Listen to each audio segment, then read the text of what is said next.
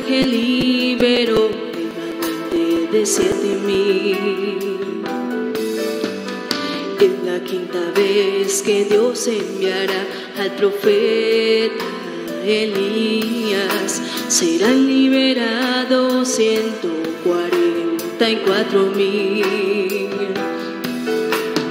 Pero la cuarta vez que Dios ha profeta Elías, un pueblo gentil como la viuda de Sarepta obtendrá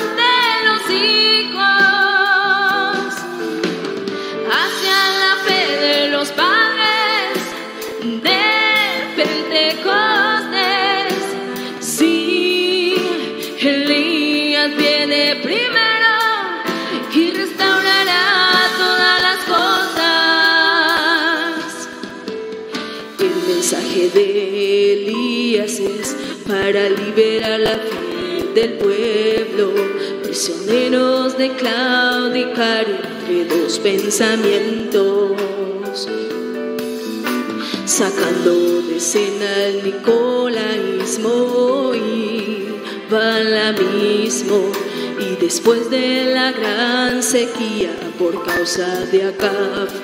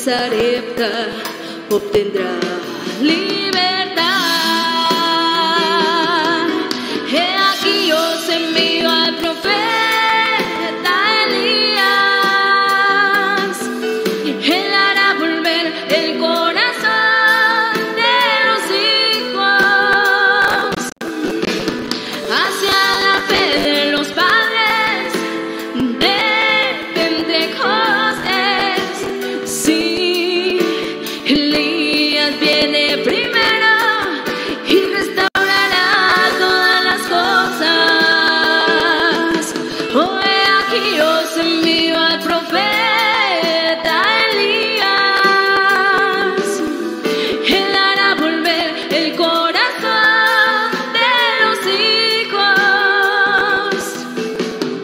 hacia la fe de los padres de Pentecostés. Sí, Elías viene primero y restaurará todas las cosas. El mensaje de Elías es para liberar la vida del pueblo, prisioneros de claudicar entre dos pensamientos, sacando de escena el nicolaísmo y balamismo, y después de la gran sequía por causa de Acab y Jezabel, traer de regreso lluvia temprana, lluvia y mi pueblo nunca jamás será.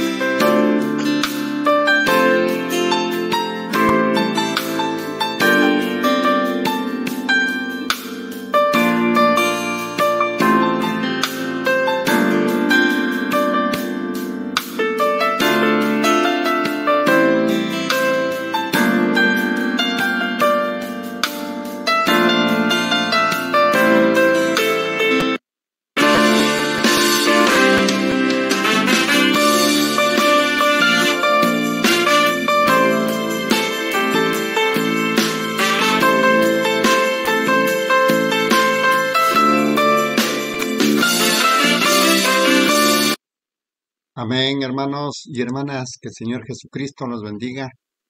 Iniciamos este compañerismo de este nuevo día y vamos a darle gracias a nuestro Padre Celestial por este maravilloso día que nos mantiene aún en esta tierra. Vamos a darle gracias, Señor, Dios Todopoderoso. Nos inclinamos ante ti, Señor, humildemente, con el fin de tener un compañerismo más ya que tú nos das un día más, oh Padre. Perdona nuestros pecados, Señor. Perdona nuestras ofensas, Señor. Perdona, Padre, nuestros malestares que hacemos todos los días, Señor. Queremos limpiarnos a través de tu palabra, Señor. En esta tarde queremos seguir conociendo la verdadera palabra tuya que tú enviaste en este último tiempo, Señor. Esto es un mensaje glorioso que ha dado la vuelta en el mundo entero, oh Padre. Nuestro profeta mensajero gentil se fue, pero ha quedado el alimento espiritual para vuestras almas, Señor. Apocalipsis 17 ha entrado en la cena, Señor, y esa es la razón y ese es el motivo, Padre, de encontrarnos en nuestra realidad. De Apocalipsis 10, 8 al 11, Señor, donde tenemos que comernos el libro, profetizar nuevamente para tribus, dengo, naciones y reyes, oh Padre. Oh Señor Dios Todopoderoso, en esta tarde queremos entrar en la presencia tuya, Señor, después en la palabra, a través de tu Santo Espíritu, Señor, y bendice grandemente al alma, al corazón también que estarán lecturando, Señor. Tú dijiste en la Biblia que también bienaventurados los que escuchan, Señor. Gracias, Padre amado. También dijiste en Mateo 5:18 que de cierto os digo que hasta que pasen el cielo y la tierra, ni una jota ni una tilde pasará de la ley hasta que todo se haya concluido, Padre. Entonces en esta tarde queremos continuar, Señor, en el nombre del Señor Jesucristo. Amén, mis amados hermanos y hermanas. Que el Señor Jesucristo los bendiga. Vamos a continuar con la lectura de este glorioso mensaje titulado El sonido incierto. Mensaje predicado en Chicago, Illinois, Estados Unidos, el día 29 de abril del año 1961. Vamos a continuar. Hemos en el párrafo 30. Dice, pienso que la iglesia está correcta, pero ya que la iglesia está conquistada, entonces necesitamos algunas soluciones en la iglesia. Eso es correcto. La política. Recientemente, yo no soy ni demócrata ni republicano, yo soy cristiano. Así que yo, yo no, yo voté por un solo hombre. Ese fue Jesucristo. Y él lo aceptó. Y yo de seguro que voy a ganar en eso. Así que ese es por quien yo estoy haciendo campañas electorales. Es por él. Amén. Y mi madre era demócrata. ¡Oh, qué cosa! Y mi papá era tanto así de republicano. Así que allí él, así era en casa. Y así que uno votaba todas las veces para anular el voto del otro. No, señor, sencillamente ellos no serían. Así que de esa manera es, ven, es igual que un montón de niños jugando. Pienso que ellos pudieran ser buenos en ambos partidos o malos en ambos partidos. Eso solo depende de la persona. Pienso que de esa manera es del respecto al metodista, al bautista o al presbiteriano o al pentecostal. Es el individuo que está en la iglesia. Párrafo 31. Si usted es católico y está dependiendo en la iglesia católica para salvación, usted está perdido. Y si usted es pentecostal y está dependiendo en la iglesia pentecostal para salvación, usted está perdido. Pero si usted es católico y, tiene fe en Jesucristo y confía en Él, usted es salvo por su fe por medio de gracia. Es la misma cosa con cualquier otra iglesia. Es el individuo es el sistema, como dije, que ha apartado la hermandad, no es la iglesia en sí. Ahora, la política. Ustedes no pueden poner su confianza en ellos. Acabamos de tener una elección que probó ser una de las cosas más fraudulentes que alguna vez azotó la nación. Correcto. Pero, ¿qué hicieron ellos? Ellos tenían una máquina que era infalible y el FBI, Departamento Federal de Investigaciones, lo expuso y lo publicó en los periódicos y en todas partes. que las máquinas estaban programadas para que cada vez que votaban por el señor Nixon, ellos votaban por Kennedy a la vez, a la misma vez. Y el FBI lo expuso. ¿Hicieron ellos algo al respecto? No, señor. Entonces es fraudulento. Eso es correcto. Párrafo 32. Ahora, alguien dijo, a usted lo van a matar de un disparo uno de estos días por decir eso. Este es el mejor lugar del que yo sé para morir, y no sé de una mejor causa por la cual morir. Esta nación ha sido en gran manera igual que Israel. Israel fue un pueblo que estaba en esclavitud, y ese grupito de israelitas que estaban en esclavitud y amaban la libertad y quería adorar al verdadero Dios viviente, Dios lo liberó de su pozo de esclavitud y lo metió a una tierra que les fue prometida a ellos, e hicieron retroceder a los ocupantes de esa tierra, y conquistaron la tierra, y llegaron a ser una nación poderosa. Ellos tuvieron hombres poderosos. Y esta nación hizo la misma cosa. Nosotros éramos un pueblo atado, sin libertad de religión, y Dios envió a nuestros antepasados a esta nación y nosotros hicimos retroceder a los ocupantes y los conquistamos. Y ha llegado a ser la nación líder del mundo. Párrafo 33. Israel era la nación líder del mundo en sus días, porque ellos tenían grandes hombres piadosos, hombres como David, como Salomón, hombres de honor, hombres de integridad, hombres que conocían a Dios y confiaban en Dios. Pero un día consiguieron un, renegado que fue elegido para el trono, y ese fue Acab, un creyente fronterizo. Esta nación fue conocida por todo el mundo como la nación líder, pero porque tuvimos hombres piadosos detrás de ella. Abraham Lincoln, George Washington, hombres como esos que confiaron en Dios y temieron a Dios. Pero igual que Israel cometió su error y metió a Acab nosotros hicimos la misma cosa no hace mucho tiempo. Cuando Acab entró, él se casó con Jezabel, y Jezabel era una pagana, y no era Acab, Acab era un hombre bastante bueno. Él se quiso arrepentir muchas veces, pero no era Acab, era Jezabel detrás del trono, porque él estaba casado con ella y ella lo controlaba a él y trajo pecado en la nación y pecado al pueblo. Párrafo 34. Y la misma cosa ha sucedido ahora.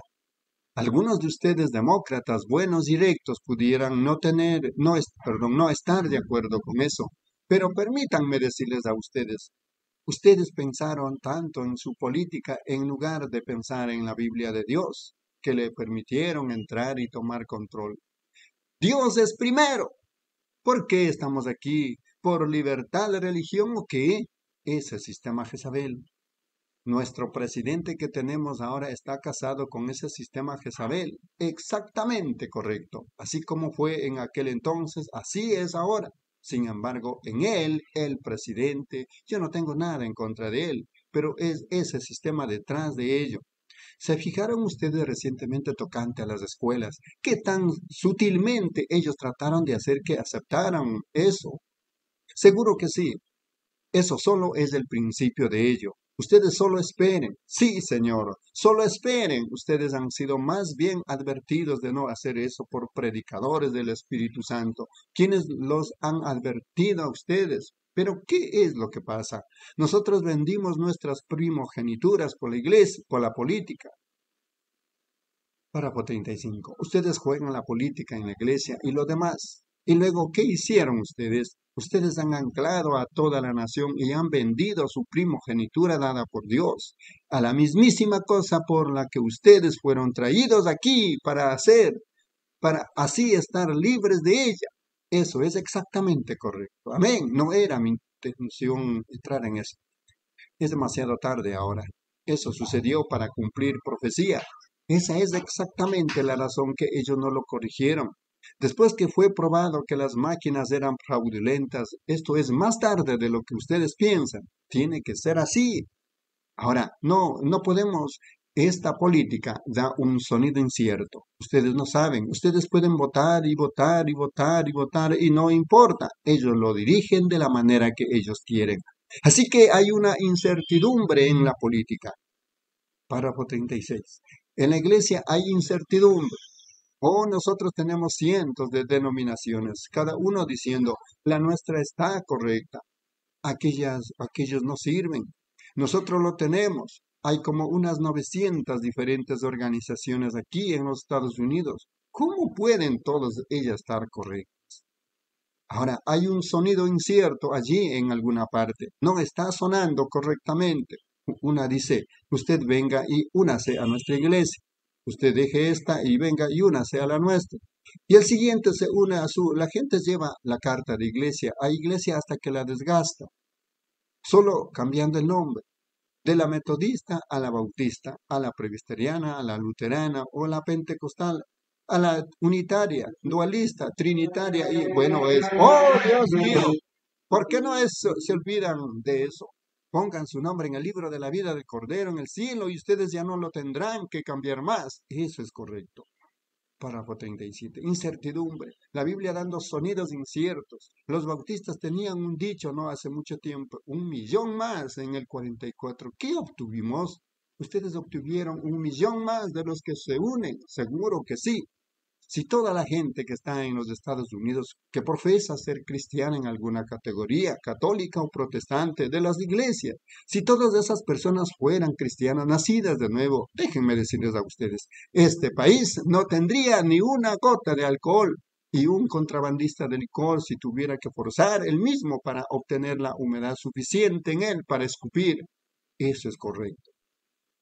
Párrafo 38. Sería, oh, sería diferente, pero hay un, hoy un día, ellos le venden whisky a esa gente y luego le arrastran por beberlo. Oh Dios, ten misericordia. La política, la iglesia y todo ciertamente que sí es un sonido incierto, incertidumbre. Venga y únase, venga y ponga su nombre. Esa no es la idea. Venga y conozca, venga y muera, Venga y púdrase a usted mismo y a sus propios pensamientos y permita que Cristo llegue a ser una nueva criatura. Esa es la vida. Amén, gloria a Dios. Hay incertidumbre en las naciones, incertidumbre en los trabajos, incertidumbre en el hogar, sonidos de incertidumbre en la política, sonidos inciertos en las iglesias. Bueno, aún la vida misma es incierta. Nosotros no sabemos cómo partiremos, pero hay una cosa segura. Sabemos que tenemos que partir. Párrafo 39.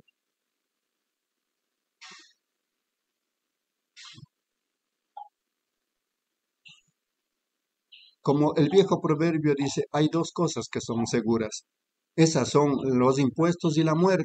Y ustedes se van a encontrar con ambos, así que ¿por qué no prepararse para eso? Eso es correcto.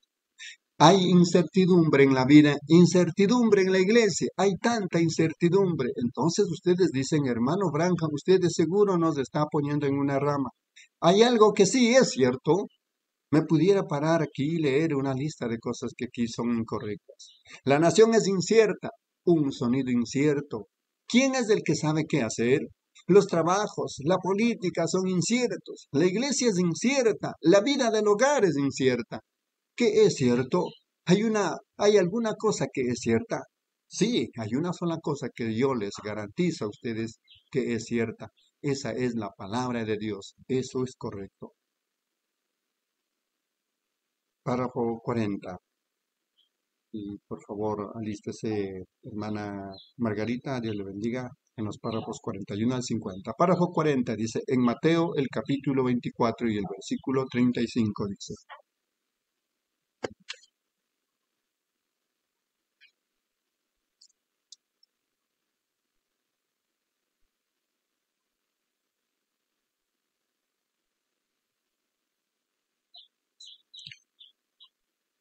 En Mateo el capítulo 24 y el versículo 35 Jesús dijo, El cielo y la tierra pasarán, pero mis palabras no pasarán. Así de cierto como Dios dice algo, es así de cierto que se va a cumplir. Antes que hubiera un mundo, antes que hubieran cuatro mil años, antes que aún Cristo naciera. La Biblia dice que Él era el Cordero de Dios, inmolado desde la fundación del mundo. Pues cuando el programa de Dios fue elaborado y Él sabía lo que iba a suceder, en su gran mente, Él sabía que Él iba a tener que inmolar a su propio Hijo para salvar al mundo. Y fue establecido tan pronto como Dios lo habló. Amén. Cuando Dios dice algo es sencillamente tan eterno como Él lo es. No puede fallar. La palabra de Dios. Jesús dijo, el cielo y la tierra pasarán, pero mis palabras no pasarán. Oh, ciertamente que ella es cierta. No hay incertidumbre en ella. Amén, hermanos y hermanas, que el Señor Jesucristo los bendiga. Estamos lecturando este glorioso mensaje titulado El sonido incierto, predicado en Chicago, Illinois, Estados Unidos, el día 29 de abril del año 1961. Continuamos con la lectura, hermana Margarita. Dios le bendiga en los párrafos 41 al 50.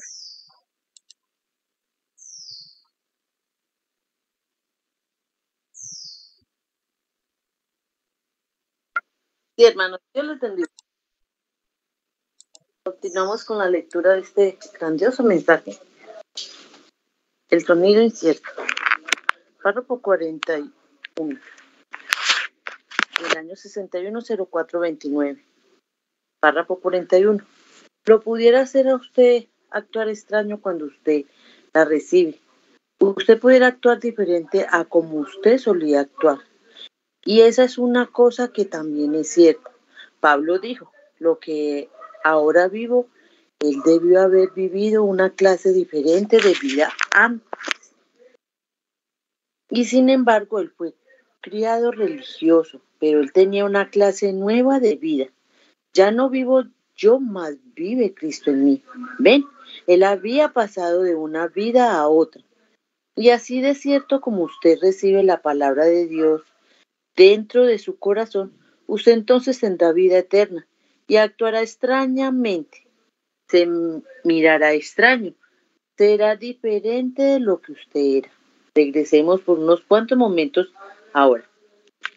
Como por unos 10 minutos y revisemos algunos de ellos que han hombres en tiempos pasados que han descansado únicamente sobre la certidumbre del sonar de la palabra de Dios. Párrafo 42. Noé muy allá en el principio antes de la destrucción antediluviana, quizás era un granjero allá en el campo, pero un día él se encontró con Dios y Dios le dijo que iba a llover. Noé estaba tan seguro que iba a llover como él estaba seguro que él era Noé. Y él preparó un arca para la salvación de su casa, porque él estaba cierto que iba a llover. No importaba cuán opuesto a la ciencia parecía, no importaba cuánto la ciencia le podía comprobar a él que no había ni una pizca de agua allá arriba, que no se podía formar una nube, que no podía ver esto, eso o lo otro. No importaba cuán científico parecía, él estaba cierto que iba a llover y él hizo arreglos para ello. Amén. Esa es la manera, hermano. Cuando usted está cierto, hace arreglos para ello. Si usted cierto esta noche que no va a salir de aquí enfermo, si Dios se lo ha revelado a usted que usted no se va a salir así, haga arreglos. Usted dice, yo estoy inválido, yo no puedo caminar, pero yo estoy cierto en mi corazón que Dios me habló hace rato y me dijo, esta noche tú vas a salir caminando de este edificio. Solo prepárese, te va a salir así. Eso es correcto esté cierto en, en su corazón. Cuando Dios habla, es cierto, eternamente cierto. Cuando Dios habla, no hay un sonido incierto al respecto en lo absoluto. Párrafo 43. Moisés, un hombre que era inteligente, altamente educado, un erudito pulido que aún podía enseñar a los egipcios. Se nos dice que él era un hombre militar Conocía todo lo relacionado al militarismo y él se dio cuenta que él fracasó en su militarismo cuando tenía todo el ejército de Faraón respaldándolo y hubiera sido heredero del trono. Pero un día Después que él había huido y había estado en el desierto por 40 años, casado, establecido, tenía una esposa y niños. Un día en la parte de atrás del desierto, siendo un anciano de 80 años de edad, con barba larga, pastoreando ovejas, recibió un resplandor fugaz de una zarza ardiente. Se paró delante de esa zarza y oyó a Dios decir, ve, porque yo estaré contigo. Ve allá a Egipto. Y Moisés estaba cierto que no lo iba a molestar a él. Él sabía que él iba a ir allá para liberar al pueblo, porque él estaba cierto que Dios le dijo la verdad, porque él sabía que era Dios y sabía que era el plan de Dios y la palabra de Dios para liberarlos a ellos. Párrafo 44 ahora. Si Moisés podía estar así de cierto, siendo un anciano para ir y sacar a una nación de una nación, ¿cuánto más ciertos deberíamos estar nosotros cuando leemos la palabra de Dios y vemos que estamos viviendo en este tiempo en el que vivimos ahora? Deberíamos estar muy ciertos de un avivamiento venidero Deberíamos estar muy ciertos del derramamiento del Espíritu Santo. Deberíamos estar muy ciertos de nuestra sanidad. Dios así lo dijo. Eso lo concluye. Párrafo 45. Moisés estaba perfectamente cierto que Israel iba a ser liberado. Él no sabía cómo. Él no tenía nada en su mano sino una, vie una vara vieja. Pero él iba allá de todas maneras él no sabía cómo se iba a hacer, pero él sabía que Dios le iba le había hablado a él y él iba en camino. Él iba a llegar allí y permitir que Dios hiciera lo que él quisiera después que él llegara allí. Así que esa es la manera, usted dice, hermano Urana, yo no tengo cáncer. Perdón, hermano Urana, yo tengo cáncer. ¿Cómo puedo estar cierto? Permita que Dios le hable a usted acepte la palabra. Bueno, si el doctor dijo, yo sé que el hombre hizo todo lo que él podía hacer por usted, sin duda, pero si Dios le ha hablado a usted, solo esté cierto que es Dios y luego siga adelante. Párrafo 46. Si Dios le habla a usted, que usted verá a Dios, verá su poder, verá su resurrección, verá sus obras y sus señales. Y usted sabe que Él está aquí entonces acéptelo a Él y acepte su palabra. Si usted lo puede sentir muy adentro de su corazón, que es verdad, entonces solo siga adelante, haga preparaciones para todo. Haga, perdón, haga preparaciones porque todo va a estar bien. Esa damita de la cual hablé aquí la otra noche, quizás la damita esté aquí esta noche, con una bebé que tenía ese pie encogido, procedente de Sion. Ella estaba tan cierta que, ese, que esa bebé iba a caminar, que ella le compró un par de zapatos, ven ustedes, y vino para que se llorara por ella. Párrafo 47. Y luego cuando ella caminó por la plataforma para que se orara por ella, ella miró y la bebé trató de mover su pie y no había mejorado. Así que ella fue a donde su madre y la madre sabía que yo, que yo estaba en la oficina. Así que ellos enviaron a la damita ya. La damita entró y yo dije, ¿no fue usted la dama por la que se oró anoche? Dijo, sí, dijo, pero usted sabe, el Señor me habló y me dijo que yo trajera la, mi bebé a usted y que cuando usted pusiera sus manos sobre mi bebé iba a caminar. Le dije, bueno, entonces eso es todo lo que es necesario. Dios lo dijo, eso es todo lo que tenemos que hacer, solo creerlo. Dijo, pero la bebé no está caminando. Le dije, eso no tiene nada que ver con ello. Si usted está cierta, usted no tendrá interrogantes al respecto. Párrafo 48. Así que oramos y puse manos sobre el bebé y yo dije, hermana, mire, yo me pudiera parar y hacer eso todo el día. Si usted está cierta y verdaderamente lo cree, sucederá, ciertamente. Será de esa manera. Y entonces cuando se iba yendo, ella me quería oír que yo dijera algo más.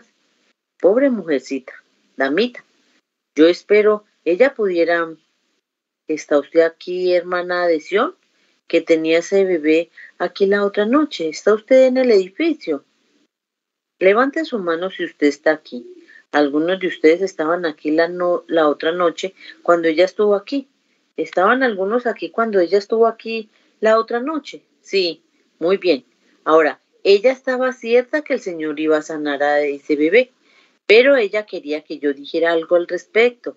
Bueno, ya les había dicho a los hermanos allí que había visto que el bebé estaba bien, pero yo solo quería ver lo que ella iba a hacer al respecto. Párrafo 49. Así que cuando ella se fue de la oficina, estando un poco desanimada y algo llorosa, ella miró para atrás, su esposo salió, así que entonces cuando ella volteó para atrás para mirarme, ella dijo, Reverendo Brana. Y dije, sí, señora. Ella dijo, es la voluntad de Dios que mi bebé esté inválida. Ella solo quería oír que yo le dijera, me forzó a decir lo que ella quería oír. Le dije, no, señora, no es. Ella dijo, gracias, señor. Y ese fue. Y como una semana después de eso, la pierna de la pequeña bebé se enderezó normal y sana. Ven, ven, solo aférrense a ello. Echen mano de algo, aférrese a ello. Estén ciertos, sí, señor. Moisés estaba cierto que Dios iba a liberar a Israel. Párrafo 50 para terminar. Elías arriba del monte en los días cuando él pensaba que solo era un el único que quedaba. Dios lo tuvo que llevar allá arriba y lo alimentó por medio de los cuervos y lo mantuvo vivo hasta que él pudiera cumplir su profecía. Él sencillamente lo retiró del campo. Allá en los días de acá, todos los hombres se me sometieron, pero ellos tenían un anciano allá que no se sometía. Se fue Elías, él todavía le decía a Jezabel que estaba mal que ella se comportara de esa manera. No importaba lo que el resto de ellos hacían. Él los reprendía tan duro como podía. Párrafo 51. Dios les bendiga, hermano. Amén, hermana Margarita. Dios le bendiga la lectura. Recordando, estamos lecturando este glorioso mensaje titulado El sonido incierto, predicado en Chicago, Illinois, Estados Unidos, día 29 de abril del año 1961. Para continuar, hermana Edith, Dios le bendiga en los párrafos 51 al 60.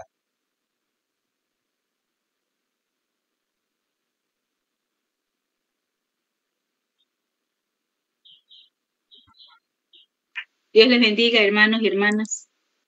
Continuando con la lectura del mensaje, el sonido incierto. Párrafo 51. Un día Dios dijo, ahora tú ya profetizaste lo suficiente en contra de ellos.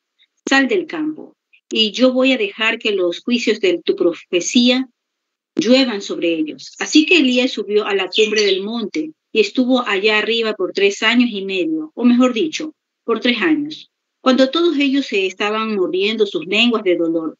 Pero él estaba sentado al lado de un arroyito, un pequeño manantial que tenía revelación espiritual todo el tiempo, aguas de vida brotando.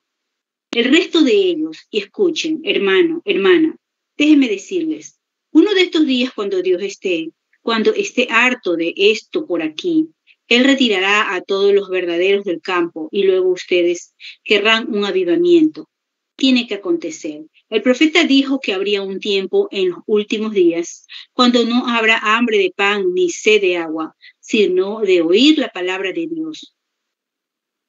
Y los verdaderos siervos serán sacados, y habrá hambre en los últimos días. Seguro que sí habrá. 52. Ahora noten, pero Dios le dijo a él entonces por qué él lo había sacado de su hibernación allá arriba. Él dijo, ve, llama acá y tráelo aquí arriba del monte. Y entonces cuando Elías estaba muy cierto que ese era Dios el que le dijo que hiciera eso, al grado que él llamó a cuatrocientos sacerdotes, y ellos pusieron un buey, y oraron todo el día, y Elías caminaba por allí haciendo burla de ellos. Él dijo, ¿por qué no gritan un poquito más alto? Quizás él tiene algún trabajo, quizás él está dormido, o no quiere ser perturbado o algo así. Dijo, gritad un poquito más alto a él. Y solo hizo burla de él. mientras ellos. ¿Por qué? Porque él estaba cierto. Él sabía que no había poder en ese ídolo. Y él estaba cierto que él estaba en contacto con el Dios vivo. 53. Esa es la razón esta noche, hermanos. Yo digo esto con amor y respeto. Yo sé que no hay ningún avivamiento en el organizacionismo, pero yo sé que hay un Dios viviente que sí tiene un avivamiento. Regresemos a eso. Yo estoy cierto de ello. Yo estoy positivo de ello. Yo sé que es la verdad. Dios nunca hará eso. Ellos nunca se han levantado y nunca se levantarán. Pero Dios sacará un pueblo de ese pueblo por causa de su nombre. Él hará eso. Así que Elías, cuando él puso esas doce piedras allí y puso el buey y lo mató exactamente de la manera que Dios le dijo que lo hiciera, él estaba tan cierto que ese fuego iba a caer, como estaba cierto que él era Elías nada. No había fuego allá arriba y no había agua allá arriba. No había llovido por tres años y seis meses. 54. Y él salió allí tan tranquilo y quieto, porque él estaba cierto. Él no tenía que decir, mire hermano, yo saldré e intentaré, lloveré. No, no. La voz le había hablado a Elías. Elías estaba cierto que era Dios. Amén. Cuando ustedes están cierto que es Dios, algo tiene que suceder. Elías salió allí y dijo, oh Dios de Abraham, Isaac y de Israel.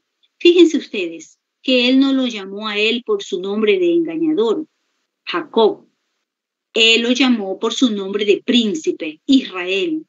Dios de Abraham, de Isaac y de Israel. Sea hoy manifiesto que tú eres Dios y que yo soy tu profeta. 55. Y en ese momento el fuego empezó a caer. ¿Por qué? Él estaba cierto que iba a caer.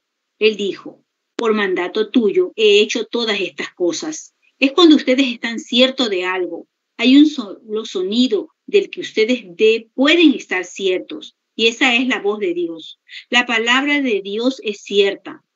David, él había probado a Dios. Un día cuando él estaba pastoreando las ovejas, vino un oso y agarró a una de ellas él tomó una ondita y derribó al oso al suelo. Ahora ustedes saben que una piedrecita en una onda no derribaría a un oso. Luego allí vino un león fiero, agarró una de las ovejitas y huyó con ella. David fue tras él, confiando en el Señor. Él arrojó esa piedra y derribó al león al suelo y mató al león. 56. Entonces un día él estaba parado allá arriba y vio a un filisteo incircunciso pararse y decir, los días de los milagros ya pasaron, no hay tal cosas como esas.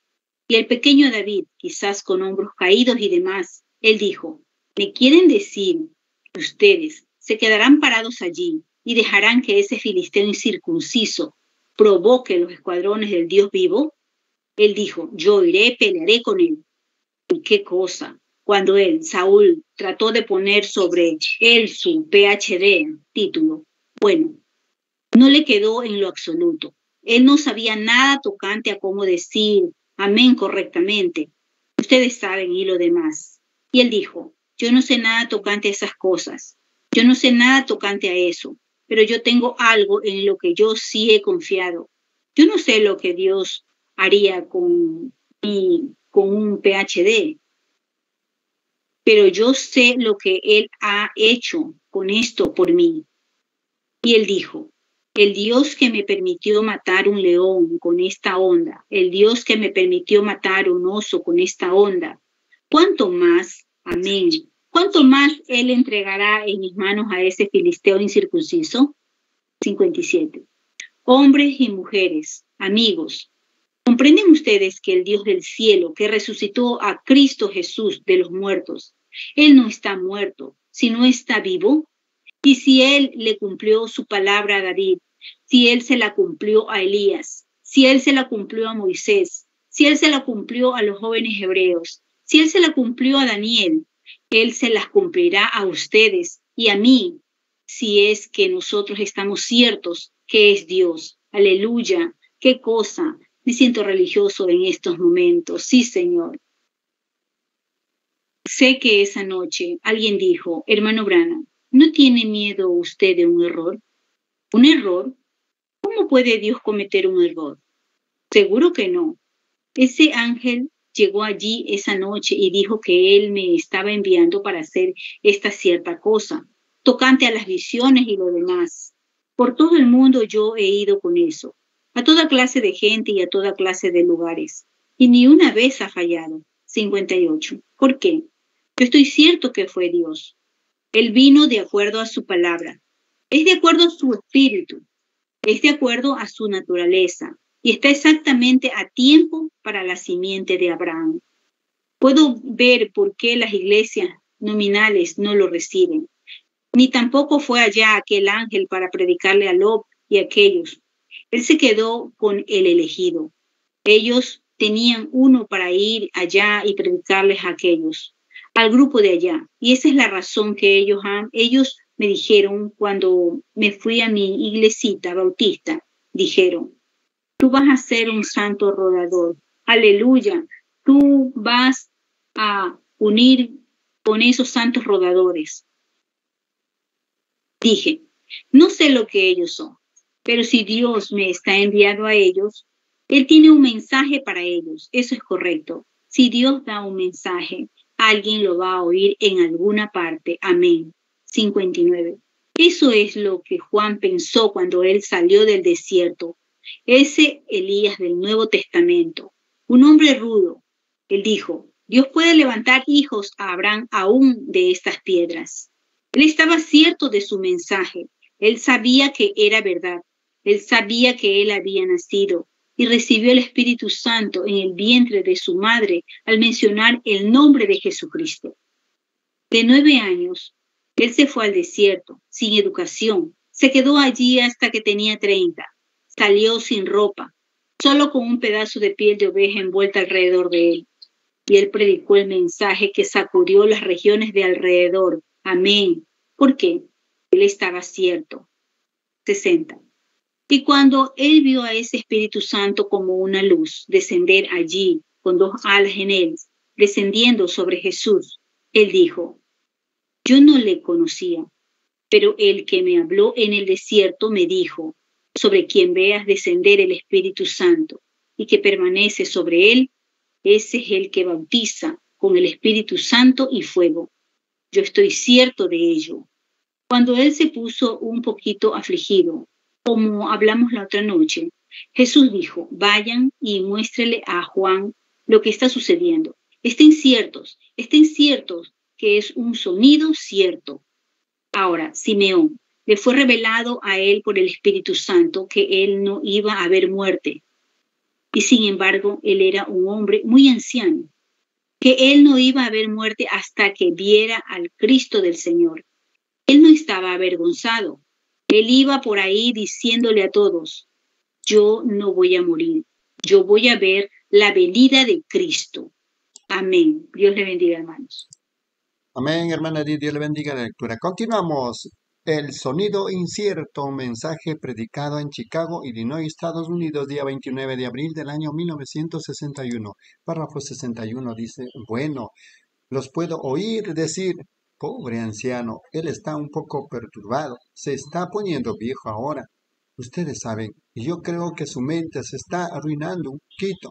Ustedes saben, los hace a ustedes hacer cosas y comportarse como nunca se comportaron antes. Cuando ustedes están ciertos, cuando ustedes están verdaderamente ciertos. Simeón dijo, no, yo no soy, yo no voy a morir hasta que vea al Cristo viniendo. Ahora dijo, piensen, David esperó en él, Moisés esperó en él, y hace miles de años ellos esperaron en él. Y ahora aquí nosotros estamos en, Romana. Bueno, ¿cómo lo pudiera él ver? Pobre anciano, no le presten atención. Párrafo 62. Eso no le molestó a él. Él iba para ahí diciendo, ¿qué cosa?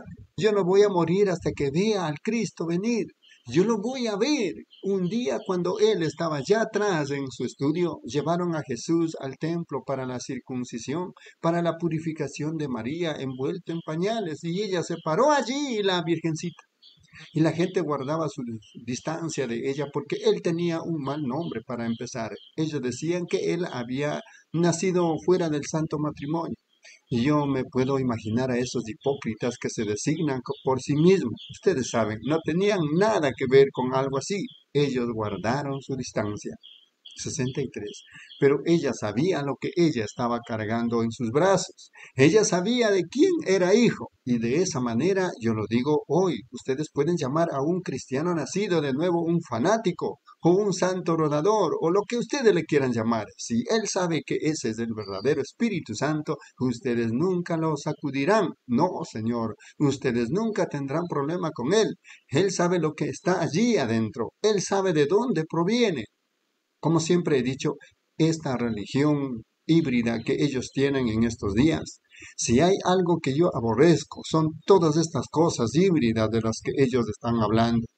Esto que es híbrido. Y creo que la ciencia ha llegado a un lugar que ellos han, ellos han refutado su propio argumento.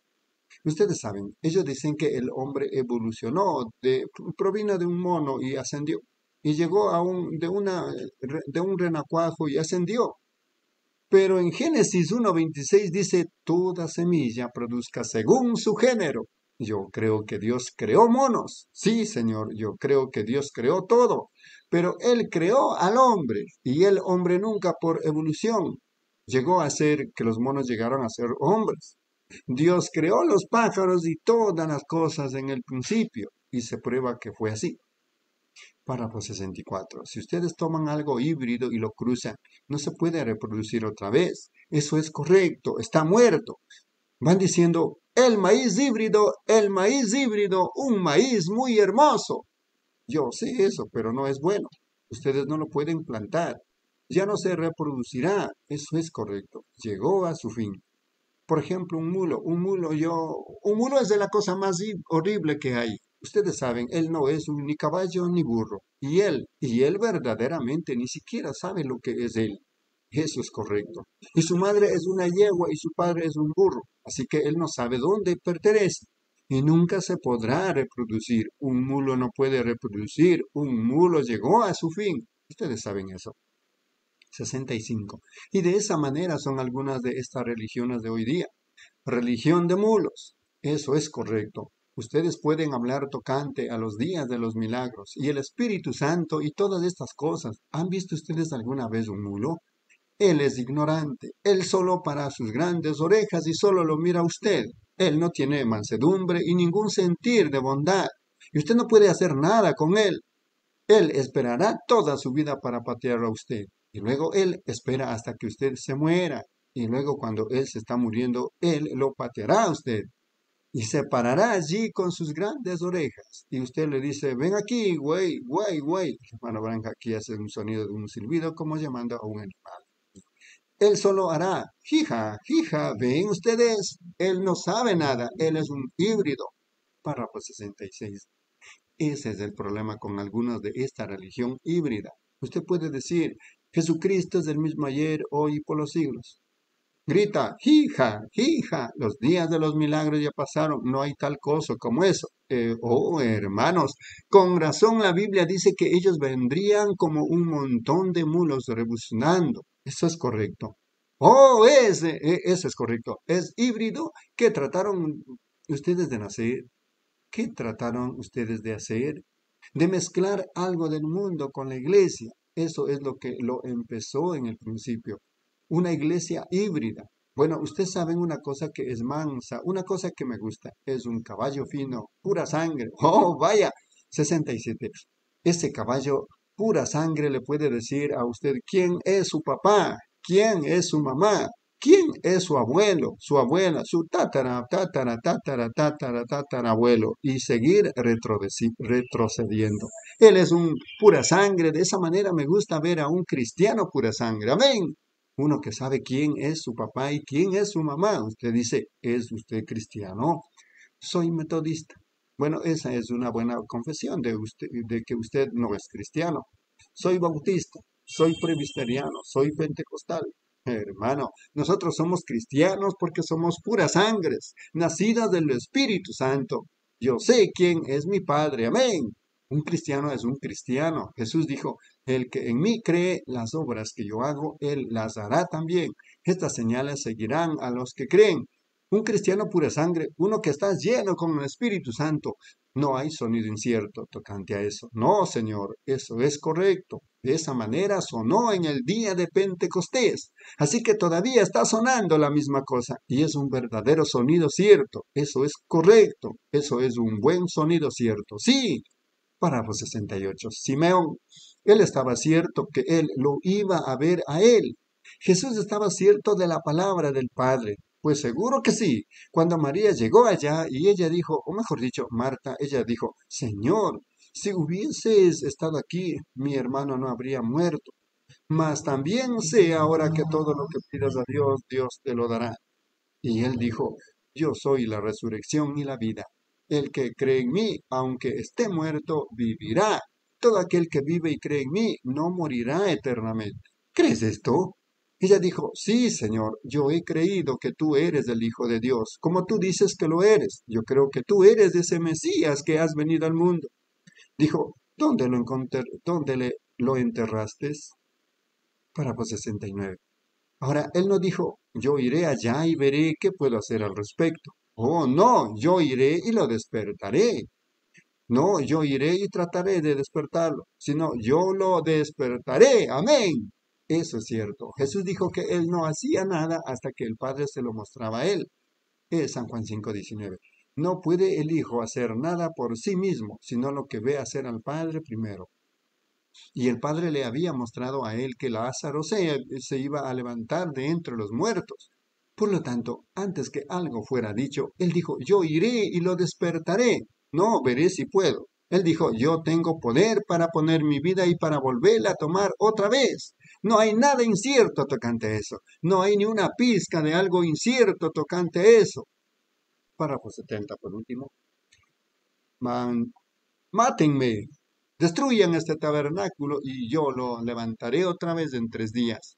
Destruyan esto. Lo intentaré, lo trataré y veré lo que sucede. Yo lo levantaré porque David dijo, no dejaré su alma en el infierno, ni permitiré que mi santo vea corrupción. Él sabía que en setenta y dos horas la corrupción se establece, y en un momento antes que se cumplieran las setenta y dos horas, el cuerpo de Jesús iba a resucitar de los muertos. No había nada incierto tocante eso.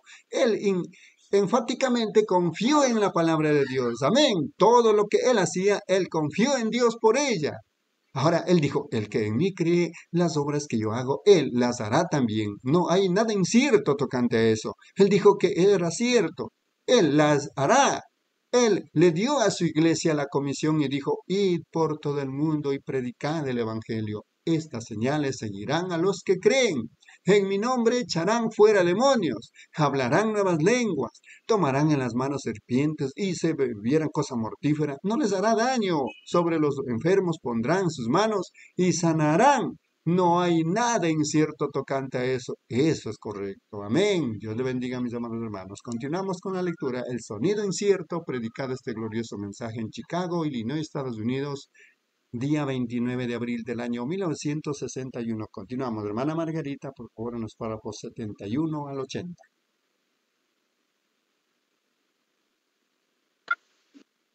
Sí, hermanos. Dios les bendiga. Continuamos con la lectura de estos grandiosos mensajes.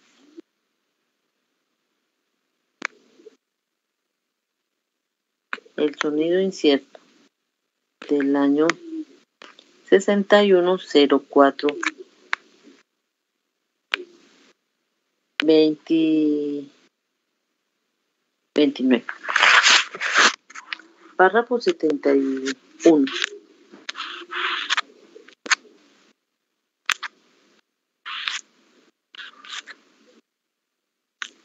Jesús dijo, en los postreros días el Espíritu dijo, la Biblia dice, habrán hombres impetuosos, infatuados, amadores de los deleites más que de Dios, calumniadores, intemperantes, aborrecedores de lo bueno, traidores, impetuosos, infatuados, que tendrán apariencia de, de piedad, pero negarán la eficacia de ella.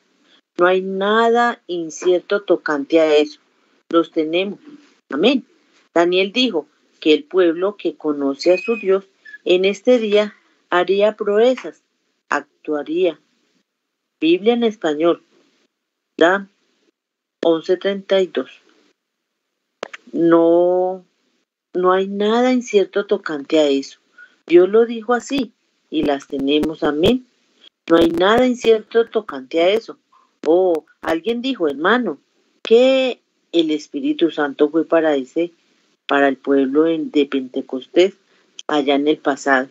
Pedro dijo en el día de Pentecostés, arrepentidos y bautice cada uno de vosotros en el nombre de Jesucristo para perdón de los pecados y recibiréis el don del Espíritu Santo, porque para vosotros es la promesa y para vuestros hijos y para todos los que están lejos, para cuantos el Señor nuestro Dios llamare. No hay nada incierto tocante a eso. Ellos lo recibirán. Eso es, ellos lo recibirán. Párrafo 72. A todos, a cuanto el Señor Dios llame. Bueno, Él les va a dar a ellos el Espíritu Santo, aleluya. Si ellos solo siguen las instrucciones, eso es todo lo que tienen que hacer. No hay nada incierto en eso, aleluya. No. Jesús dijo, las obras que yo hago, ustedes las harán también, aleluya. Él dijo, como fue en los días de Sodoma, así serán los días de la venida del Hijo del Hombre. Como el ángel del Señor descendería y entre el pueblo y mostraría estas señales y prodigios, los prodigios de su resurrección. Él ha estado desde se levantó del sepulcro hace dos mil años. El mundo no lo cree, pero él, porque él vive, él dijo, nosotros podríamos vivir también. No hay nada incierto en eso. Amén. Párrafo 73. Las obras que él hizo, nosotros las podemos hacer también. No hay nada incierto tocante a eso. Todas tus promesas son sí para nosotros. Nosotros estamos viviendo en los últimos días. Vemos que todo es exactamente de la manera que Él dijo. Así que no hay nada incierto. Ustedes lo pueden creer, poner su confianza en eso. Pablo Rader, muchos de ustedes lo recuerdan a él, de aquí de Chicago, un gran hombre de Dios. Él murió hace unos cuantos años.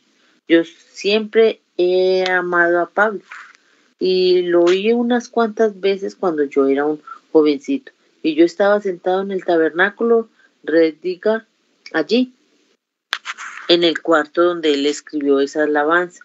Solo creer con la que me llaman al público, perdón, con la que me llaman al púlpito. En de, de, en cientos de idiomas diferentes. Me imagino por todo el mundo, solo creer y me pregunto si Pablo sabía que ese jovencito sentado allí con overoles tomaría esa alabanza y la llevaría alrededor del mundo, la que él había escrito. Párrafo 74. Yo estaba sentado allí hace tiempo, llevando a cabo una reunión, y esa alabanza se oyó por la bocina. Yo me arrodillé y lloré debido a que sabía que él fue un gran hombre de Dios. Él estaba contando una historia de una ocasión en su libro. Yo la estaba leyendo. Creo que él, provenía de Oregón y él cortaba árboles. Él era un hombre fuerte. Lucas era un hombre muy fuerte, su hermano. Así que Pablo dijo que él, que allá en, creo que fue en, algún país extranjero en el que él estaba, que él estaba, él contrajo la fiebre de, un, de agua negra o algo. Él estaba, él se estaba muriendo. Y él le dijo a su esposa fiel que se quedara a su lado, porque ellos no podían conseguir un doctor allí, pues estaba muy distante y se empezó a poner más oscuro en el cuarto. Y él dijo, cariño, él dijo, quédate a mi lado, continúa orando, continúa orando. Pablo era un gran creyente de sanidad divina, y así que él predicó aquí mismo en esta ciudad, allí en el tabernáculo, párrafo 75. Y así que él creía en eso. Y él le dijo a su esposa que continuara orando, no importaba lo que sucediera, que solo continuara orando. Él dijo que se ponía más oscuro y más oscuro en el cuarto y finalmente todo se puso oscuro. Y él le dijo que estaba soñando. Él pensó que estaba de regreso en Oregón y él estaba el patrón del campamento maderero donde él, trabajaba le dijo, Pablo, sube a la colina y córtame un cierto árbol de un cierto tamaño y tráemelo aquí. Él dijo, muy bien, dijo que él subió corriendo a la colina y podía oler el pino y sus pulmones respirando el olor. Ustedes saben cómo únicamente una persona que vive en el bosque lo puede disfrutar. Y dijo que él cortó el árbol y, lo, y le cortó las ramas y lo clavó el hacha en él y agarró el árbol y sencillamente no lo podía levantar. Dijo que él puso sus rodillas juntas y dobló su espalda, la parte más fuerte del hombro. Son los músculos de su espalda. Él intentaba levantarlo y levantarlo y dijo que él podía levantar un árbol dos veces el tamaño de ese, pero por alguna razón él luchó con él y luchó con él y él luchó con él y sencillamente no pudo hacer nada con él. Párrafo 76. De esa manera mucha gente lo hace. Ellos solo, ellos toman una palabra y la tratan de llevar aquí, allí o allá y luchan con ella y luchan con ella. La llevan a esos seminarios y le cortan aquí y hacen una palabra griega de ella aquí y una palabra hebrea de ella allá. Y cuando menos piensa, llega a ser como eso y no una palabra de Dios. Ustedes solo luchan con ella y luchan con ella. Ustedes la llevan a donde el doctor fulano de tal, el PhD, y le preguntan, ¿qué piensa él tocante a ella? Y a donde el doctor Frutano de tal, PhD, y le pregunta, ¿qué piensa él tocante a ella? Y él le dice, bueno, es telepatía. El otro dice, es fanatismo. Y cuando menos piensa, ustedes están luchando con ella y luchando con ella. Bueno, yo estaba en la reunión y honestamente yo vi el Espíritu de Dios descender. Yo oí a alguien hablar en lenguas desconocidas. Es el diablo. Sí, oí a la gente gritar. Oh, es excitación. Y vi a un hombre pararse en la plataforma y por el poder de discernimiento decirle a la gente quién era y en la audiencia y lo que estaba mal. Y fue exactamente de la manera que la Biblia dice que Jesús lo hizo, para mostrar la señal del Mesías. Bueno, iré y le preguntaré a mi pastor. Él dice, ah, es telepatía. Ven, ustedes solo continúan luchando con ella y luchando con ella. Eso es todo. Ustedes nunca van a lograr nada. Párrafo 77. Finalmente Pablo dijo que se debilitó, así que él se sentó, su fuerza estaba agotada. Él solo se sentó y se reclinó contra el árbol. Dijo, ¿qué le ha sucedido a mi fuerza? Por supuesto, eso era la fiebre que él tenía la que estaba haciendo eso. Y él le dijo, he llegado al fin. Dijo que después de un rato, él oyó una voz muy dulce que dijo, Pablo, él dijo, ¿ese es mi, pa mi patrón? Y dijo que cuando él volteó era su patrón en verdad. Dijo que él nunca había visto un rostro más dulce en toda su vida. Él dijo, Pablo, ¿por qué estás luchando con él? Él dijo, ¿ves esa corriente de agua allí? Dijo, sí. Dijo, esa corriente de agua desciende por aquí rodeando la colina y va directamente al campamento. Dijo, ¿por qué no, lo, no la echas en el agua y te subes en él y lo montas yendo hacia abajo? Oh, él dijo, no se me había ocurrido. Párrafo 78. Así que la echó en el agua y montado se fue sobre las olitas gritando en voz en cuello, yo voy montado en él, yo voy montado en él. Y dijo, que cuando él volvió en sí, perdón, y él dijo, perdón, y dijo que cuando él volvió en sí, Él estaba parado en medio del cuarto, gritando en voz en cuello, yo voy montado en él, yo voy montado en él, la promesa de Dios. Y esta noche, hermano, no hay nada incierto tocante a la palabra de Dios. Yo voy montado en ella. Ella me llevará al campamento algún día, aleluya. Yo no sé cuántas olitas tendré que atravesar, pero yo voy montado en ella. Amén, amén. Alabado sea Dios. Digámoslo todos juntos. Yo voy montado en ella. Yo voy montado en ella. Es la promesa de Dios. Yo voy montado en ella.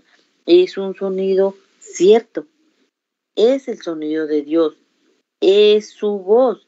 El cielo y la tierra pasarán, pero mis palabras no pasarán.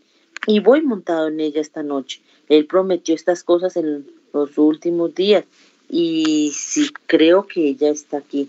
Párrafo 79. Que ellos lo llaman lo que ellos quieren. A mí no me importa. Eso no me importa a mí. Yo estoy cierto que es Dios. Amén. Y yo voy montado en ella. Yo la he montado ahora por 31 años. Y la montada se está poniendo más dulce todo el tiempo, aleluya, porque me estoy acercando a la puerta. Amén. Yo todavía voy montado en ella. Cuando la muerte azote mi cuerpo, yo la montaré, seguiré montado. Yo soy la resurrección y la vida. Dice Dios, el que en mí cree, el que cree en mí, aunque esté muerto, vivirá. El que vive y cree en mí, no morirá eternamente.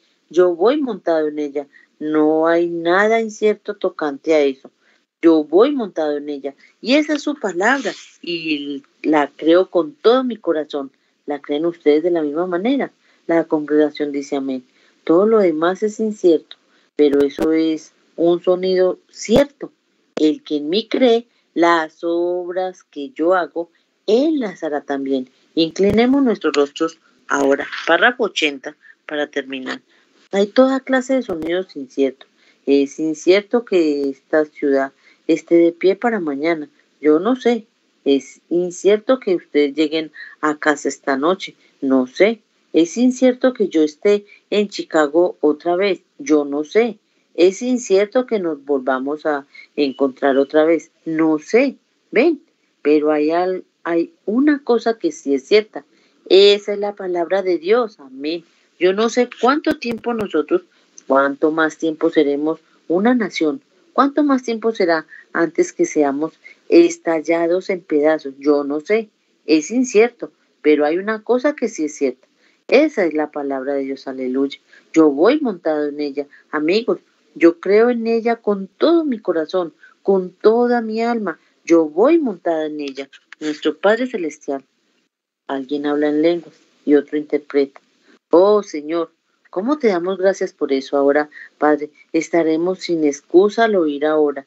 No únicamente eso, sino oír tus profecías, oírlos hablar en profecías y verlas cumplirse, ver las promesas de Dios de una resurrección, de un avivamiento, de la venida otra vez y de la gran señal mesiánica de un Jesús resucitado para aparecer ante los gentiles, como lo hizo con los judíos y samaritanos en este último día. Oh Dios. Padre, párrafo 81. Dios les bendiga, hermano. Amén, hermana Margarita. Dios le bendiga. Continuamos con la oración del profeta y de este mensaje, El sonido incierto, predicado en Chicago, Illinois, Estados Unidos, día 29 de abril del año 1961. hermana Edith, en los párrafos 81 al 90. Dios les bendiga, hermanos. Continuando con la lectura del mensaje, el sonido incierto. Párrafo 81. Oh Dios Padre, te damos gracias por esto. Yo te doy gracias. Ahora esas palabras, Dios, viniendo de ti es seguramente después que yo he tratado de exponerlo de la Biblia y oírte a ti hablarlo por medio de dones y lenguas e interpretaciones.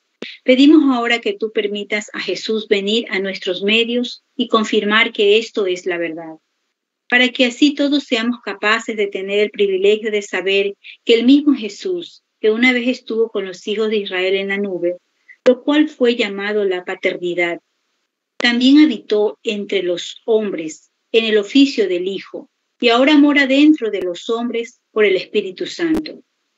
Padre, permíteles ver que la misma naturaleza de Dios permanece igual, la que estaba en Jesús, así también está en la iglesia. Y hace las mismas obras aquí en los últimos días, cuando la iglesia ha llegado a su destino, y ahora es la señal mesiánica del tiempo del fin.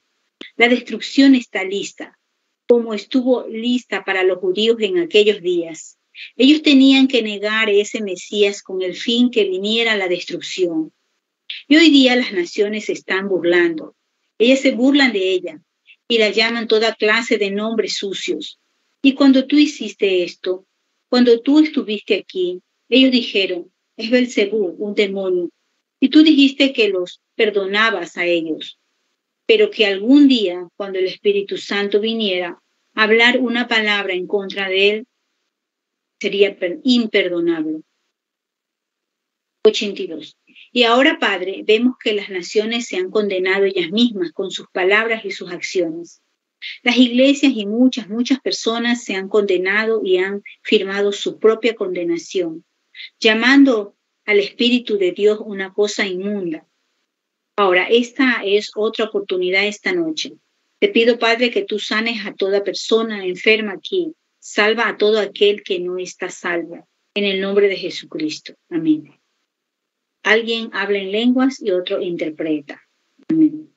Gracias sean dadas a Dios. Ahora, de acuerdo a eso, Él nos prometió estar aquí.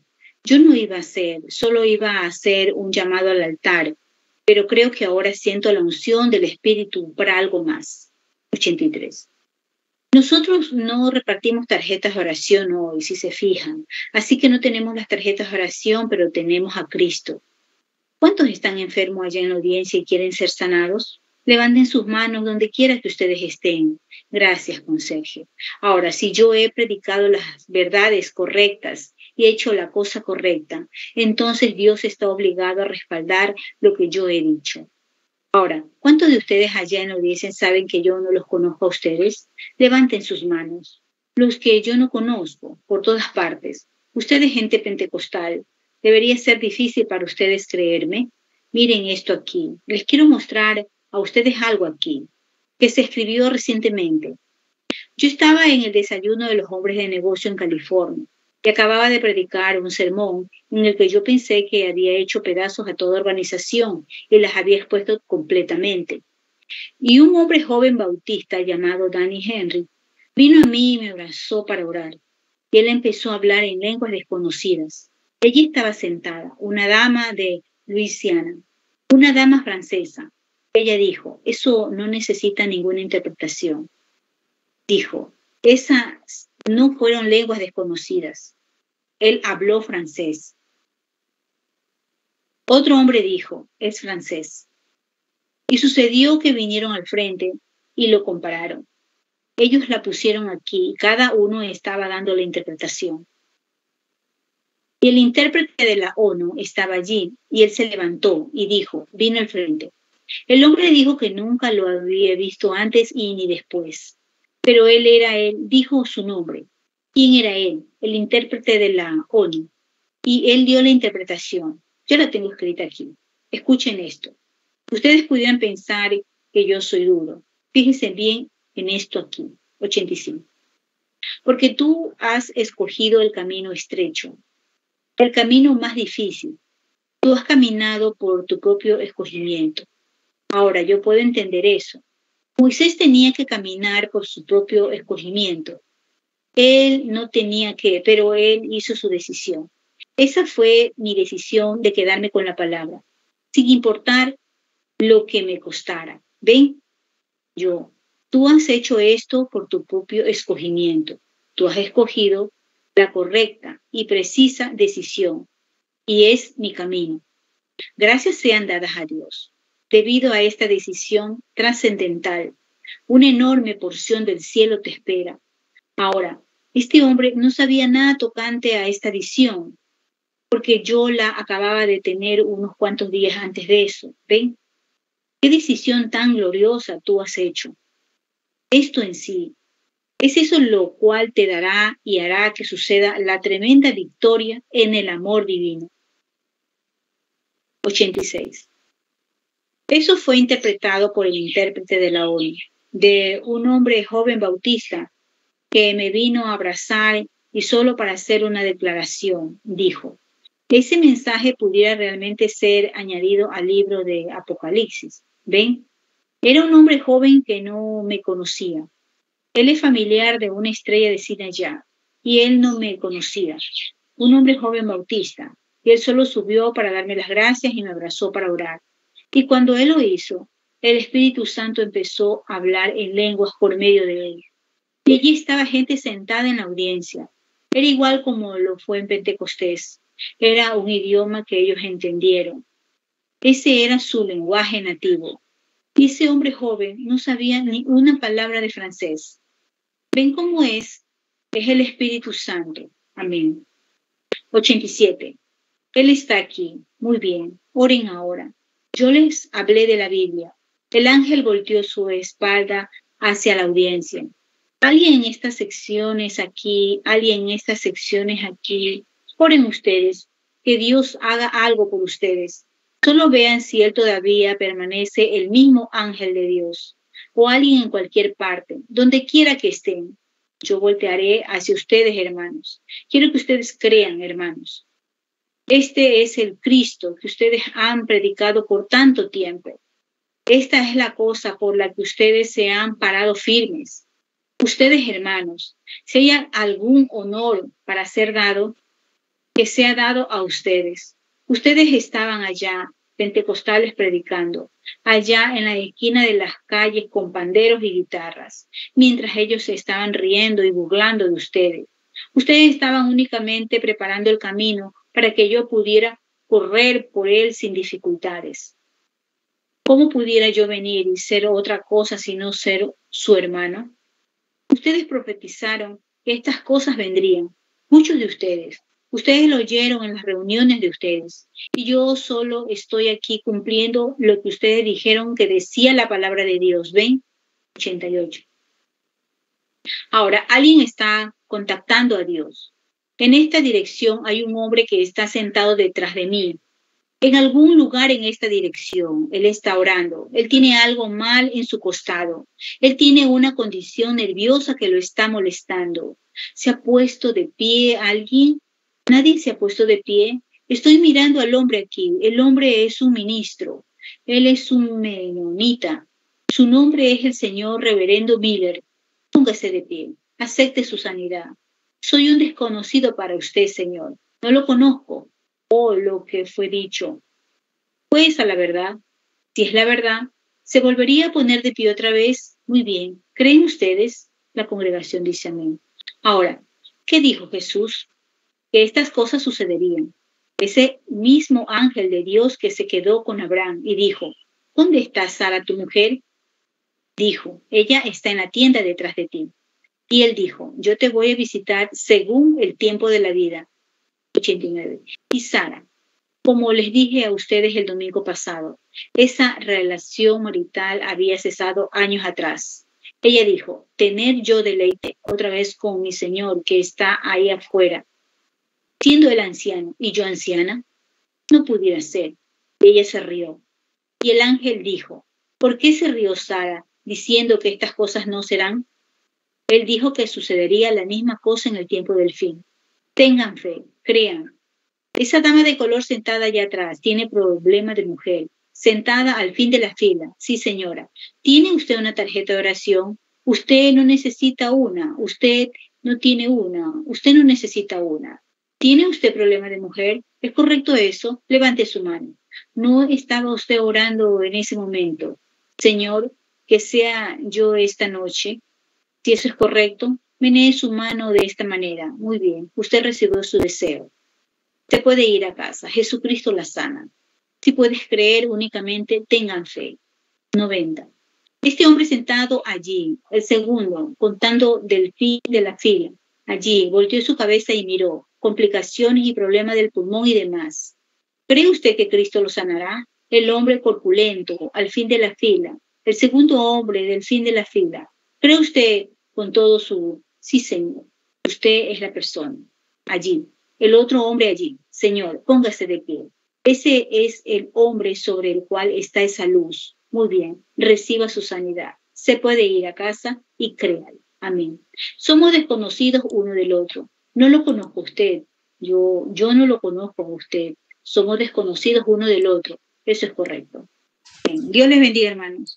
Amén, hermana Di, Dios le bendiga la lectura. Continuamos y para finiquitar este hermoso y precioso, glorioso mensaje, el sonido incierto, servicio realizado en Chicago, Illinois, Estados Unidos, día 29 de abril del año 1961. Párrafos 91 dice, esa mujer sentada al lado del hombre que se puso de pie allá, ¿quiere usted terminar con esa diabetes y creer con todo su corazón que Dios la sanará? Si usted creerá, póngase de pie, diga amén. Muy bien, ese es Él. Usted puede recibir su sanidad si usted lo cree, pero usted tiene que creer. ¿No es así? Esa dama, sí, que está meneando su mano, sentada ya en la audiencia, ¿cree usted que ese hinchazón se detendrá? ¿Que su hija allí con epilepsia ya no la tendrá? Señora Shimolwu, usted se puede ir a casa ahora y todo está bien. Usted puede ser sana si usted cree con todo su corazón. Soy un desconocido para usted, no la conozco a usted, nunca la he visto en mi vida. Si eso es así, levante sus manos, ambas de ustedes levanten sus manos allí. Eso es exactamente correcto. Párrafo 92. ¿Creen ustedes con todo su corazón que de algunos de ustedes sentados aquí, ¿qué? ¿Creen ustedes con todo su corazón? Entonces tengan fe Quede usted sentado aquí, este hombre de color sentado aquí mirándome. ¿Tiene usted una tarjeta de oración? No, usted no necesita una. Usted tiene fe y ese es y eso es todo lo que usted necesita. ¿Cree usted que soy su profeta, mejor dicho, su siervo? ¿Cree usted eso con todo su corazón? Yo soy un desconocido para ustedes. Somos dos clases diferentes de razas y es la primera vez que nos encontramos. Pero parece que usted tiene un buen espíritu, usted tiene fe, esa es buena fe por alguien más, por quien usted está orando. Eso es correcto. Su hermana, ella tiene cáncer. Si eso es correcto, menee su mano. Muy bien, crea y ella sanará. ¿Creen ustedes con todo su corazón? La congregación dice amén. Si puedes creer, todo es posible. Párrafo 93. Señorita Jackson, ¿se quiere ir usted ir a casa y ser sanada también? ¿Cree usted con todo su...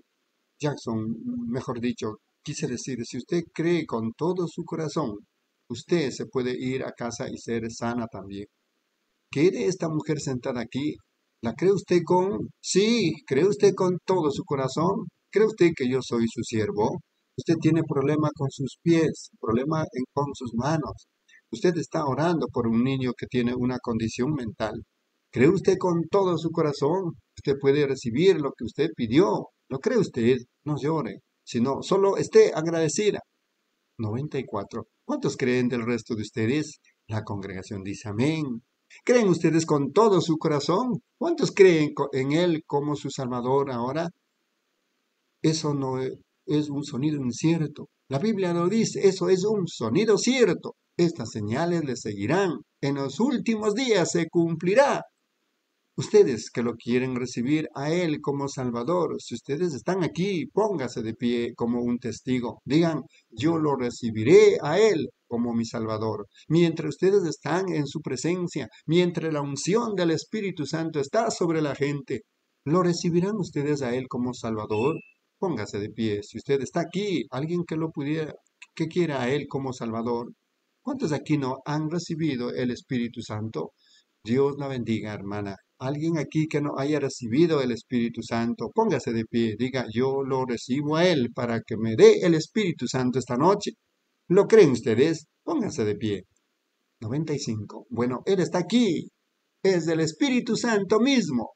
Permanezcan parados, permanezcan parados, permanezcan de pie todos los que quieren el bautismo del Espíritu Santo, que no lo hayan recibido y creen que ustedes lo pueden recibir esta noche, póngase de pie, solo recíbanlo. Muy bien. Ahora, no hay sonido incierto tocante a eso. Recuerden, bienaventurados los que tienen hambre y sed de justicia, porque ellos serán saciados. No hay nada incierto. ¿Creen ustedes? entonces ustedes van a ser llenos. Si ustedes creen correctamente, ustedes tienen que ser llenos. Miren esto aquí, ¿por qué ustedes lo traerían? Miren aquí en donde yo me tengo que parar. Me tengo que parar aquí ante todo y tiene que ser así. Amén. Tiene que ser así. 96. Ahora, ¿cuántos de ustedes están enfermos y quieren ser sanados? Póngase de pie. ¿Ustedes creen que van a ser sanados esta noche? Si ustedes no lo creen, no se pongan de pie. Pero si ustedes sí lo creen y ustedes se han aferrado, han sentido que un sonido cierto que tocó su corazón, esta es la hora que voy a recibir mi sanidad. Este es el momento. Si ustedes lo creen con todo su corazón, póngase de pie. Eso es, solo permitan que el Espíritu Santo obre en lo profundo de su corazón y ustedes se darán cuenta que algo sucederá. Ahora, ¿creen ustedes verdaderamente que por lo que ustedes pusieron, se pusieron de pie, ustedes lo van a recibir? Entonces levanten sus manos y digan, gracias Señor Jesús, yo ahora recibo mi sanidad, yo ahora recibo el bautismo del Espíritu Santo. Solo denle alabanza. Amén, alabado sea Dios. Yo lo alabaré. 97, eso es correcto. Permanezcan allí mismo, no, no, mantengan sus manos. ¿No es maravilloso? Sienten su presencia. Quisiera que ustedes se pudieran parar aquí y mirar lo que yo estoy mirando. Eso se mira hermoso. Amén. Muy bien yo le alabaré, yo le alabaré. Alabaré al Cordero inmolado por los pecadores. Denle gloria a Él todos ustedes, pues su sangre ha lavado toda mancha. ¿Lo aman? La congregación dice amén. ¿Creen ustedes que recibieron su sanidad? Digan amén, amén. Yo ahora la reclamo. Yo voy montado en ella. Yo voy montado en ella. Dios lo prometió. Yo voy montado en ella. Yo creo toda palabra de ella. Entonces levantemos nuestras manos y cantémosla otra vez. Yo le alabaré, yo le alabaré, alabaré al Cordero inmolado por los pecadores. Oh, denle gloria a Él todos ustedes, pues su sangre ha lavado. 98. No creo que ustedes pensarían que yo soy un hipócrita o un mentiroso. Si ustedes pudieran únicamente bajo, vale más que no lo diga, pero escuchen amigos, como que el ungimiento, como que, un, como que esa, esa luz que yo observo está posada por donde quiera. Oh, hermanos, es glorioso. Si ustedes tan solo acceden, yo le alabaré, yo le alabaré, alabaré al Cordero inmolado por los pecadores. Denle gloria a Él, todos ustedes, pues su sangre alabado. Dios lo bendiga. Amén, mis amados hermanos y hermanas. Hemos concluido con la lectura de este glorioso mensaje, El sonido incierto predicado este servicio en Chicago, Illinois, Estados Unidos, día 29 de abril del año 1961, que quede plasmado en cada uno de vuestros corazones.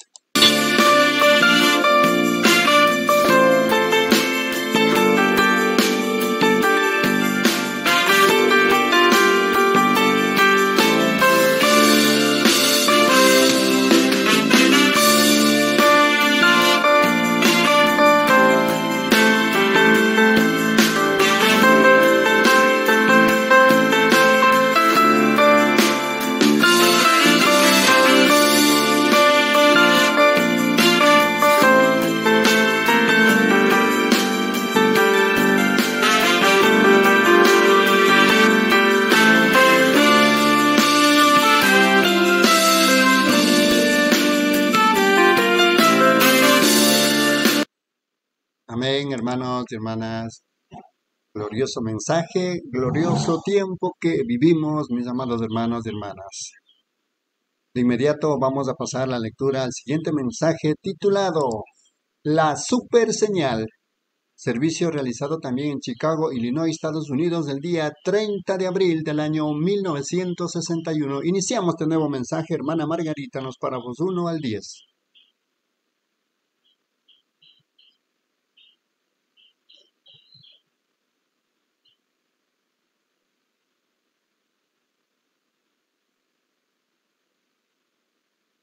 Hermano, ¿quién bendiga. Continuamos con la lectura de estos grandiosos mensajes. Para comenzar con la super señal de Chicago, Illinois, el año 610430. Párrafo 1. Muchas gracias y que el Señor bendiga a cada uno de ustedes mientras permanecemos de pie. Solo un momento hablemos con este grande al cual estamos adorando, así en esta tarde, nuestro Señor Jesús, nuestro Padre Celestial, estamos inclinando nuestros corazones a ti, nuestros rostros, para que podamos expresarte de esta manera sencilla la forma de comunicar a través de la oración de que estamos agradecidos por todo lo que nuestros oídos han escuchado y nuestros ojos han contemplado de tu presencia. Con tu iglesia en este último día de estas grandes señales de su venida y que sea un, un tiempo de regocijo para tu iglesia, porque se dice que cuando estas cosas empiecen a acontecer, entonces levantemos nuestras cabezas, pues nuestra redención se acerca, aleluya, y rogamos que esa sea nuestra actitud. Estamos agradecidos por lo que tú has hecho por nosotros y por los, eh, los efectos que han dejado tu presencia sobre el pueblo y que ella siempre esté allí, que ellos siempre te amen. Jesús con todo el corazón. Algún día yo, tu siervo, tendré que partir, pero si tú me llevarás antes que yo tenga una oportunidad de volver otra vez, hazle saber que tú eres el Dios inmortal que no puede morir y que estarás con ellos para siempre. Y si te placiere que tu siervo regrese en otra ocasión para ministrar junto con tus siervos, yo ruego que nos concedas eso. Bendice a cada ministro. Dios, rogamos que todo varón de Dios sea ungido frescamente con el Espíritu Santo y que como he expresado nuestro hermano, que hombres jóvenes se levanten y sean ungidos con el Espíritu, el Espíritu de amor, el Espíritu de compañerismo, el Espíritu de poder, para que así ayuden a llevar este Evangelio a todo el mundo. Pues nos damos cuenta, Señor, que hoy día la causa está necesitada. Es más tarde de lo que pensamos y rogamos, Padre Celestial, que tú bendigas aquí y que me estás que tú bendigas sus iglesias aquí y que estalle un avivamiento chapado el antiguo aquí en Chicago y que el Espíritu Santo descienda y haga que esto suceda. Te pido por el capítulo de los hombres cristianos de negocios, que tú los bendigas y que ellos sean instrumentos para meter a muchos hombres en el compañerismo de Cristo. Concédelo, Señor, todos ellos Gracias por este auditorio y por aquellos que nos permitieron usarlo. Estamos agradecidos, Señor, de estar todavía en su país libre, donde todavía podemos adorar a Dios de acuerdo a lo que dicta nuestra propia conciencia. Estamos agradecidos por hombres que todavía creen el mensaje y mujeres, muchachos y muchachas.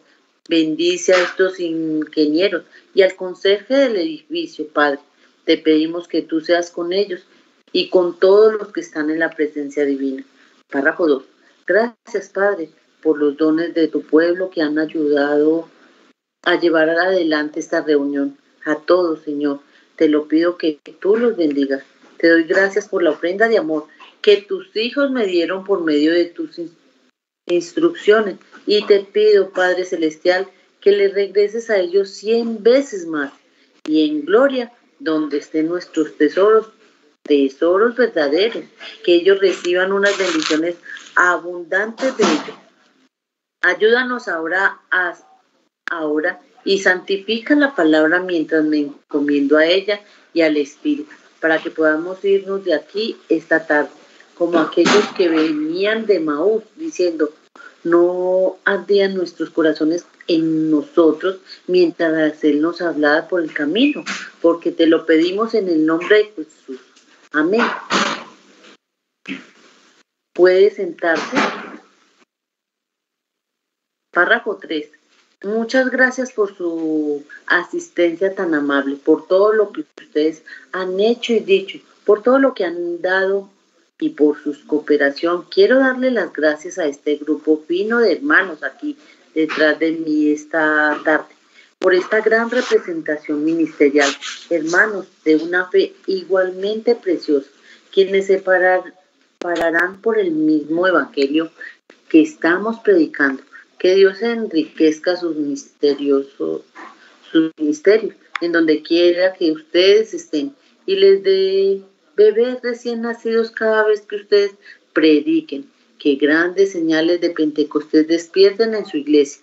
Grandes cosas maravillosas sean hechas por Cristo. Que este capítulo nunca muera. Se va, sabemos que la iglesia no morirá.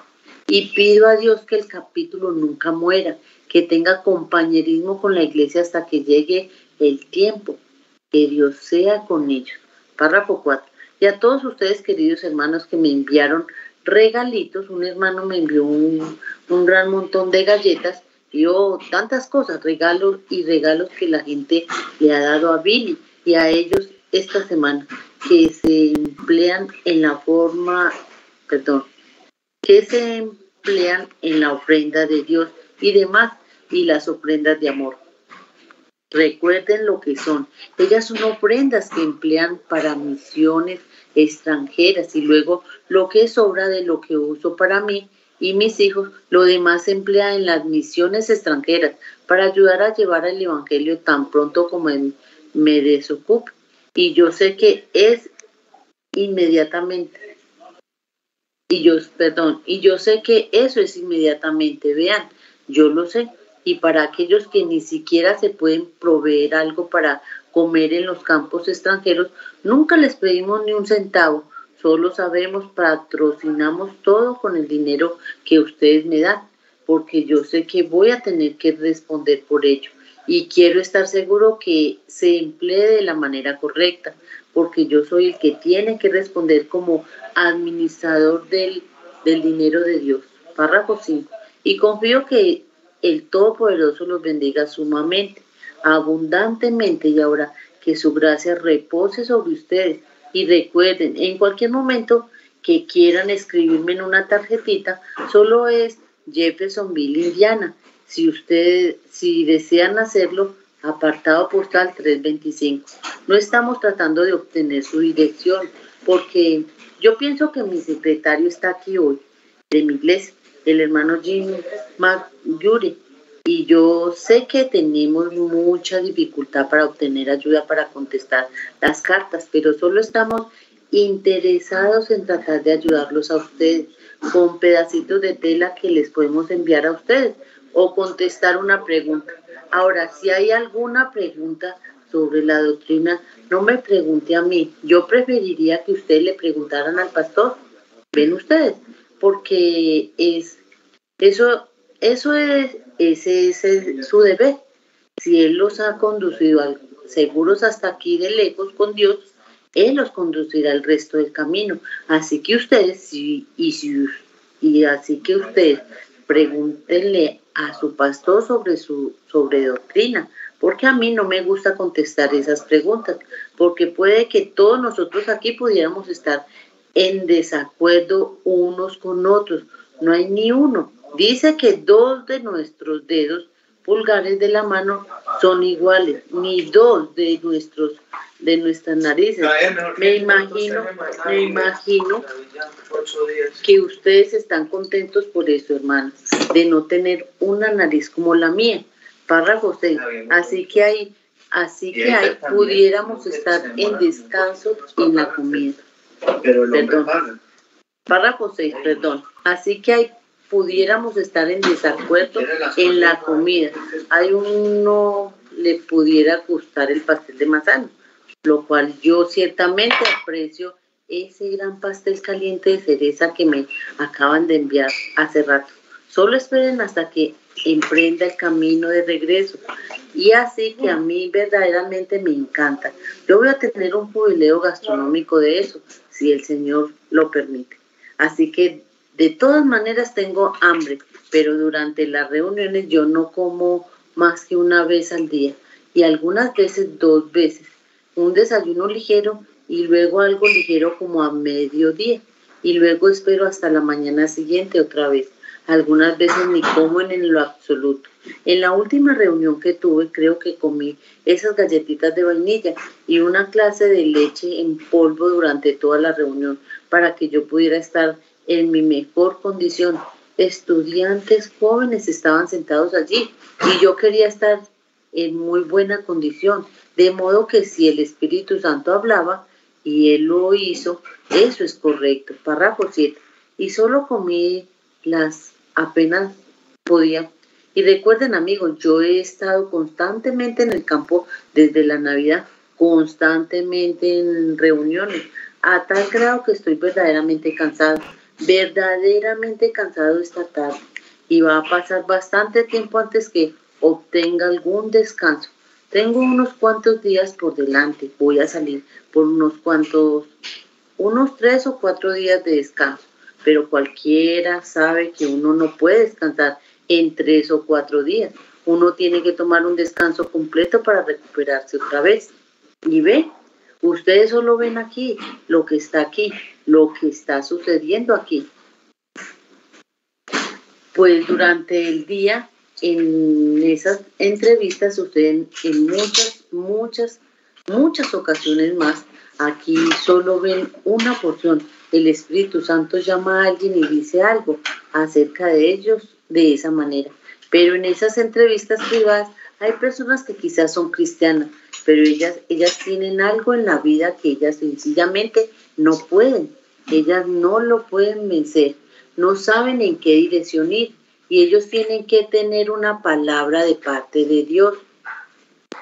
Y yo quisiera que pudiera decir, venga a verme, pero amigo, hay como unos, creo que mi secretario allá dice que hay 600 y algo esperando provenientes de todo el mundo. Y ven, así que es porque no, pero como, perdón, pero con gusto podremos pondremos un nombre en la lista a medida que podamos llegar a ellas. Y alguien, para ocho, y ustedes saben, la Biblia dice ciertas cosas, pero sí, hay cosas que están atadas en la vida. Por ejemplo, los mandamientos, tenían los diez mandamientos, pero entonces Dios tenía un vidente para que cuando algo sucediera que no estuviera escrito en los mandamientos, entonces la palabra de Dios estaba con el profeta que revelaba lo que debía hacer. Y Dios no cambia. Él todavía tiene las mismas evidencias, las mismas avenidas. Ellas son, si es que nosotros solo las abrimos, eso es todo. Eso es lo que necesitamos hoy, es una apertura de las avenidas. Como dije la otra noche, acerca de seguir excavando, sacar todo lo que obstruye. Nosotros todavía tenemos, los canales están aquí y todos ellos fueron abiertos en el Calvario y fueron abiertos en el desierto y estarán fluyendo hoy día si tan solo sacamos todas esas cosas del camino, toda nuestra incredulidad y creemos que Dios todavía es Dios. Párrafo 9. Y si les gustaría que yo, ora, yo ore sobre un pedacito de tela y se los envíe a ustedes, estaré contento de hacer eso. Yo veo que cada noche y día tienen pedacitos de tela puesta aquí arriba. Nosotros los enviamos por miles por todo el mundo. Y ellos pueden hacer más de lo que nosotros podemos. La única cosa que es es solo un contacto con la gente. Muchas grandes cosas suceden. Son gratis. Nada de lo que vendemos es propiedad nuestra. Tenemos algunos libros aquí que ellos venden, pero no son nuestros, mm, son del señor Stadley y de la señora Lindsay y de otros más. Nosotros se los compramos a ellos a 40 centavos menos, 40%. Luego tenemos que pagar cierta cantidad a la semana para que los muchachos los vendan y cierta cantidad para cargarlos y cierta cantidad por el transporte. Y sencillamente no cubrimos los gastos de ellos. Eso es todo. La reunión tiene que ayudar para cubrir eso. Párrafo 10 para terminar. Y luego yo siempre he dicho que si alguien pasa por allí, a Leo o a Jim y a ellos que están vendiendo los libros, y ellos son agentes que la iglesia les paga para que vendan los libros. Si alguien pasa por allí, una mamá, un papá o alguien, y ellos dicen, me gustaría tener uno, pero yo no tengo ni un centavo, yo solo désenlo a ellos de todas maneras, que se lo lleven. Después de todo, nosotros estamos tratando de esparcir la palabra de Dios. En alguna parte, con una parte de la ofrenda o algo así, pagaremos por ellos y lo que nos queda volvemos a invertirlo en más libros que alguien más imprima y se los compramos a ellos. No son propiedad mía, ellos son de alguien más. Así que los aprecio a todos y a mis, ciertamente a mis compañeros ministros, el hermano David Duplessis, el hermano Voss y muchos de los grandes ministros aquí en Chicago que yo he tenido privilegio de conocer. Que las bendiciones más ricas del Señor sean sobre ustedes, sus siervos, y sobre ustedes, su pueblo. Párrafo 11. Dios les bendiga, hermano. Amén, hermana Margarita, Dios le bendiga la lectura. Recordando, hemos iniciado un nuevo mensaje titulado La Super Señal, predicado en Chicago, Illinois, Estados Unidos de América, el día 30 de abril del año 1961. Continuamos la lectura, hermana en los párrafos 11 al 20. Dios les bendiga, hermanos y hermanas. Continuando con la lectura del mensaje, La Super Señal, párrafo 11. Miren, yo, yo tengo que apresurarme un poco esta tarde, porque no tendremos tiempo. Y yo ciertamente les respeto a ustedes, hermanos, por venir aquí. Las, las ovejas de estos pastores aquí que Dios les ha dado, por el Espíritu Santo, para ser supervisores. Y vamos a tratar de dejarlos salir lo suficiente temprano para que puedan ir a casa y regresar a la iglesia esta noche.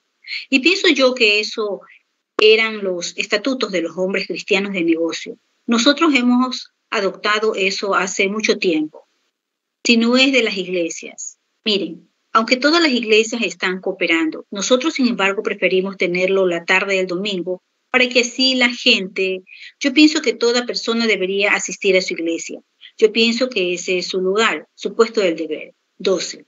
Ahora, esta tarde me gustaría leer, yo tengo algunos textos escritos aquí, algunas escrituras y pequeñas referencias y demás.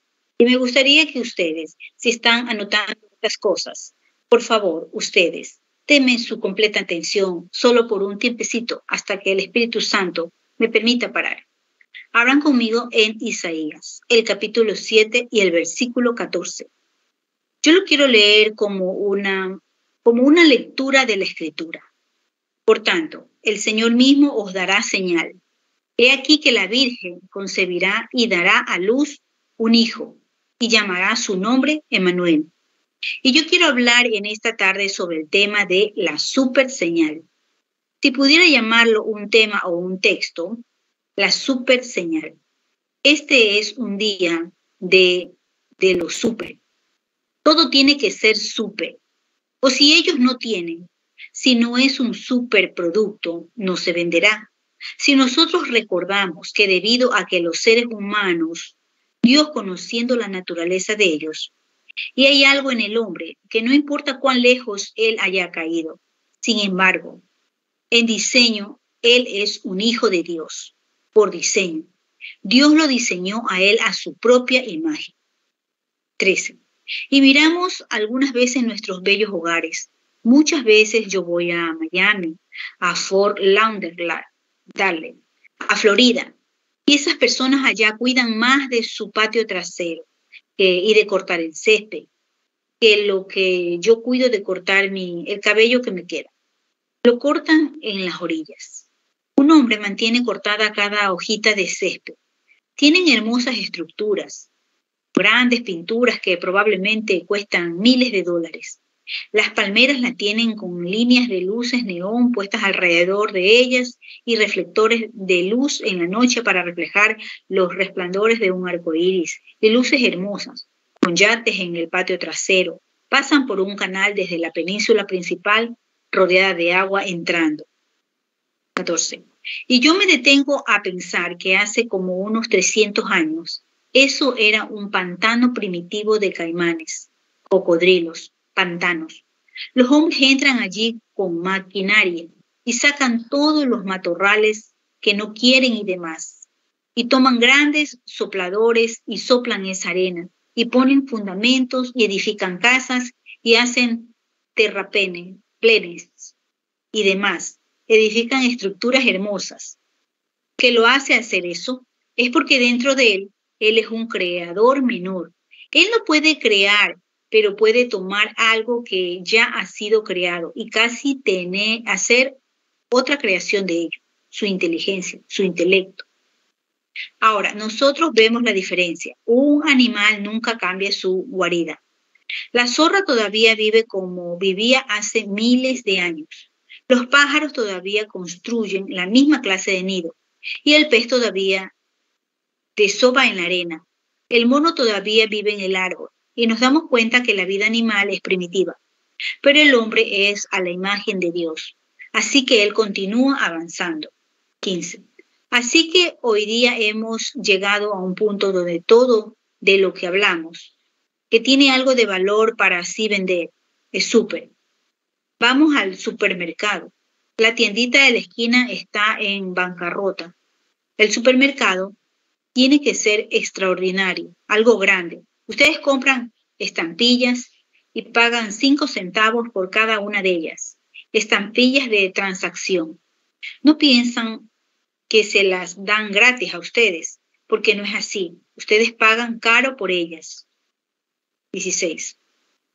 Pero es que son los ojos del público los que lo tienen que captar, la televisión, los periódicos. Recientemente yo estaba escuchando un programa radial. Ellos dijeron, no sean anticuadas, usen los nuevos detergentes. No tienen que lavar ni restregar, Solo metan el plato en el agua y saldrá perfectamente limpio. Todo lo que ustedes tienen que hacer es solo, bueno, es solo meterlo en el agua y ponerlo en el estante. Está bien, oh, no sean anticuadas. Ese comercial pasó y salió otro y decía, no se quemen sus manos bonitas con estos nuevos detergentes. Usen un cierto de otra clase de antiguo Oxidol. Dijo, pues miren cómo se ven las manos de su abuela, mire cómo se ven las manos de su mamá. Ellas usaban espuma de jabón. No se quemaron sus manos con estos nuevos detergentes que ellos tienen. Y Colgate Palmolive Clear hace ambos artículos, hechos allí mismo en Jeffersonville. ¿Ven? A la gente le gusta ser engañada y el diablo la tiene en esa condición para que cuando venga algo real, ella todavía piense que está siendo engañada. Los que esperen en Jehová, los que conocen a Dios harán proezas. 17. Pero estamos en algo súper, súper ventas. Súper, súper, súper, súper, súper, súper todo. Súper automóviles, súper aviones de propulsión a chorro. Oh, súper aviones, súper velocidad. Todo es súper super raza. Oh, todos quieren ser una super raza. Hitler les dijo a los animales alemanes que ellos eran super personas, pero se dieron cuenta que ellos no lo eran. Super, super, todo es super. Y ahora, todo eso tiene sentido común. Si ustedes se detienen y lo examinan, porque es una criatura que Dios creó. Y ellos están en esa idea de súper. Tiene que ser súper. Así que todas estas cosas significan una cosa. Es una señal, es una señal de que viene una super oscuridad. Super oscuridad. Ellos tienen 18. Adán lo empezó en el huerto del Edén. Él quiso una super religión y todo es súper, súper. Y únicamente Quiere decir que vamos a entrar en oscuridad con estas super cosas, porque ellos tienen una super arma que disparará una super bala que estallará a un super espacio y todo. Todo es un super disparar, matar. El hombre siempre ha tratado el mismo de lograr algo super. Él nunca quiere aceptar la manera de Dios al respecto. Él quiere lograr algo él mismo. Adán tenía una super religión. Él tenía una religión que él mismo hizo, tratando de obtener una super religión sin una expiación para el pecado. El hombre tiene la misma cosa. Lo está tratando de hacer hoy, tener una religión sin una expiación. Ustedes tienen que tener una expiación. Y cuando la expiación los toca a ustedes, ustedes son limpiados de todo pecado e incredulidad.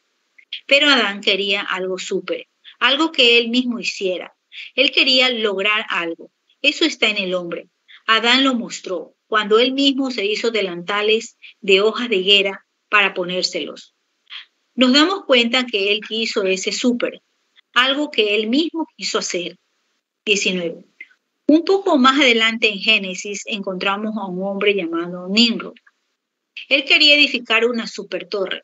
Él quería edificar algo que él le pudiera dejar al mundo. Vean ustedes lo que yo he logrado, algo que yo he hecho. Miren, ustedes sigan adelante y vivan de cualquier manera que ustedes quieran. Y si Dios alguna vez decide destruirnos, subiremos rápidamente a esta torre. Estaremos libres completamente de la inundación. Vivan como ustedes quieran. De esa manera el hombre lo trata de hacer hoy con su super religión. Vivan de la manera que ustedes quieran. Nosotros tenemos un hombre santo que está orando por ustedes, los sacerdotes, el obispo o alguien. Sigan adelante. Nosotros tenemos superestructuras, tenemos grandes iglesias y grandes organizaciones. Solo sigan adelante. Con tal de que ustedes pertenezcan a eso, todo está bien. Ustedes se van a dar cuenta que eso caerá igual que todo logro del hombre. 20. Luego después de eso vino un hombre llamado Nabucodonosor, quien pensó que él podía edificar una super ciudad, lograr algo por sí mismo.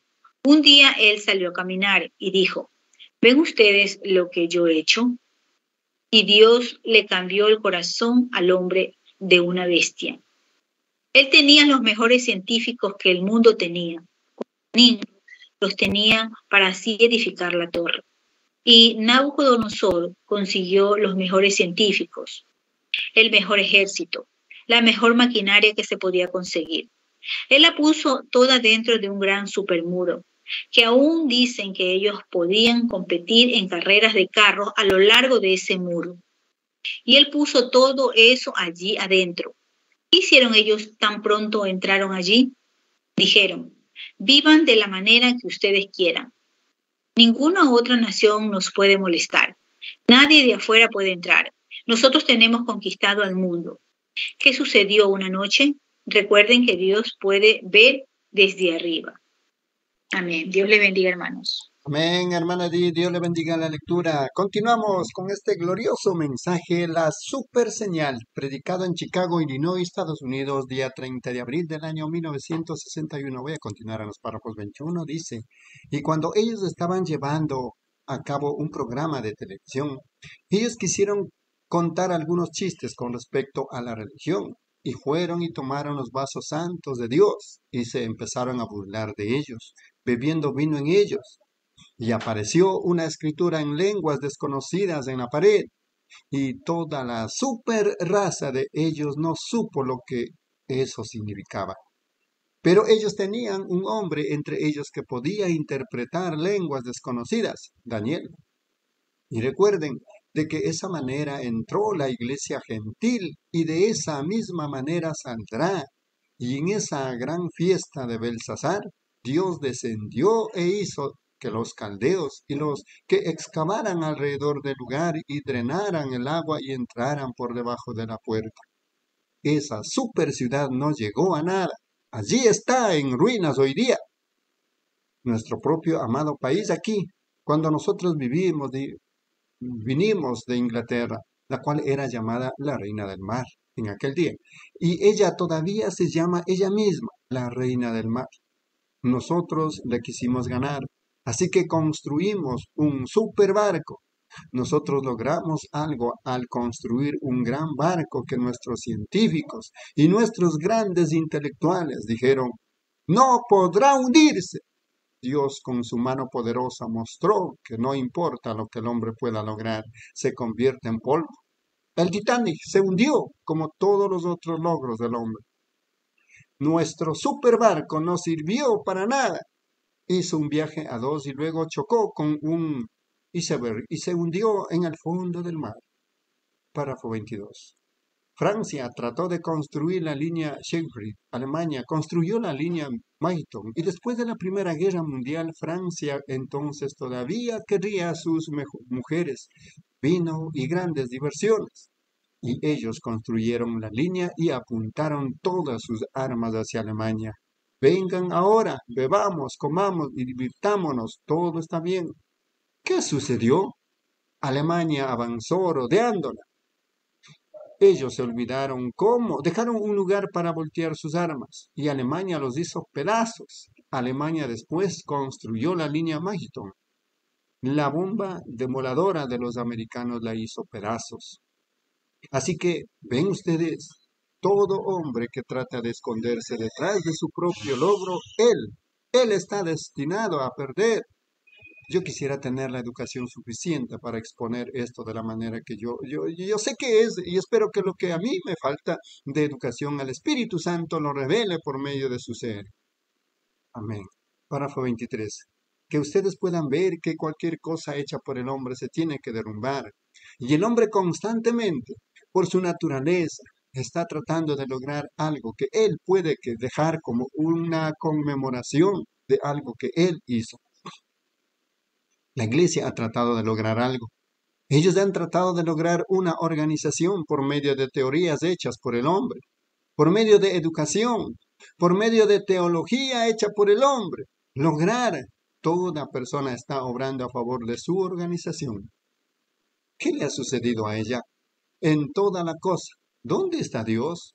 Toda iglesia, y toda iglesia quiere que su pastor sea un doctor en filosofía, un doctor en literatura, lo cual está bien mientras ustedes tengan eso, además de a Dios. Pero cuando ustedes salen con esos caprichos para tratar de construir algo ustedes mismos, para mostrar que la, organización de ustedes es más inteligente o es un grupo mejor vestido, de éticas más elevadas que el alcalde de la ciudad asista a la iglesia de ustedes, ustedes están en arenas movedizas.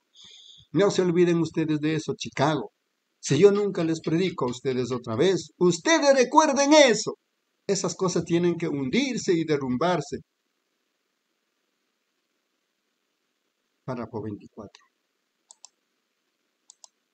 Los bautistas piensan que ellos se edificarán una organización. Los metodistas piensan de la misma manera. Los católicos de la misma manera. Los presbiterianos de la misma manera. Nazarenos, pentecostales, santos peregrinos, todos ellos lo cual es algún logro hecho por el hombre.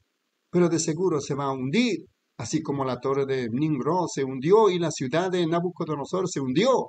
Así como el Titanic de los Estados Unidos se hundió, así también ellos se hundirán tienen que hundirse, todo logro hecho por el hombre. ¿Dónde está el Titanic hoy? En el fondo del mar. ¿Dónde está la torre de Nimrod? Ella ha caído a tierra. ¿Dónde está la ciudad inmoral de Nabucodonosor? Se hundió. ¿Dónde está la línea Sheffield de Francia? Ella está hecha pedazos. ¿Dónde está la línea Maginto de Alemania? Ella está vuelta a pedazos. ¿Dónde está la iglesia denominacional? Muerta. ¿Qué es? Todo eso es una mm, memoria histórica. Todo lo que queda de la línea Sheffrey es una historia. Todo lo que queda de la línea Magiston es historia. Todo lo que queda de las torres es historia.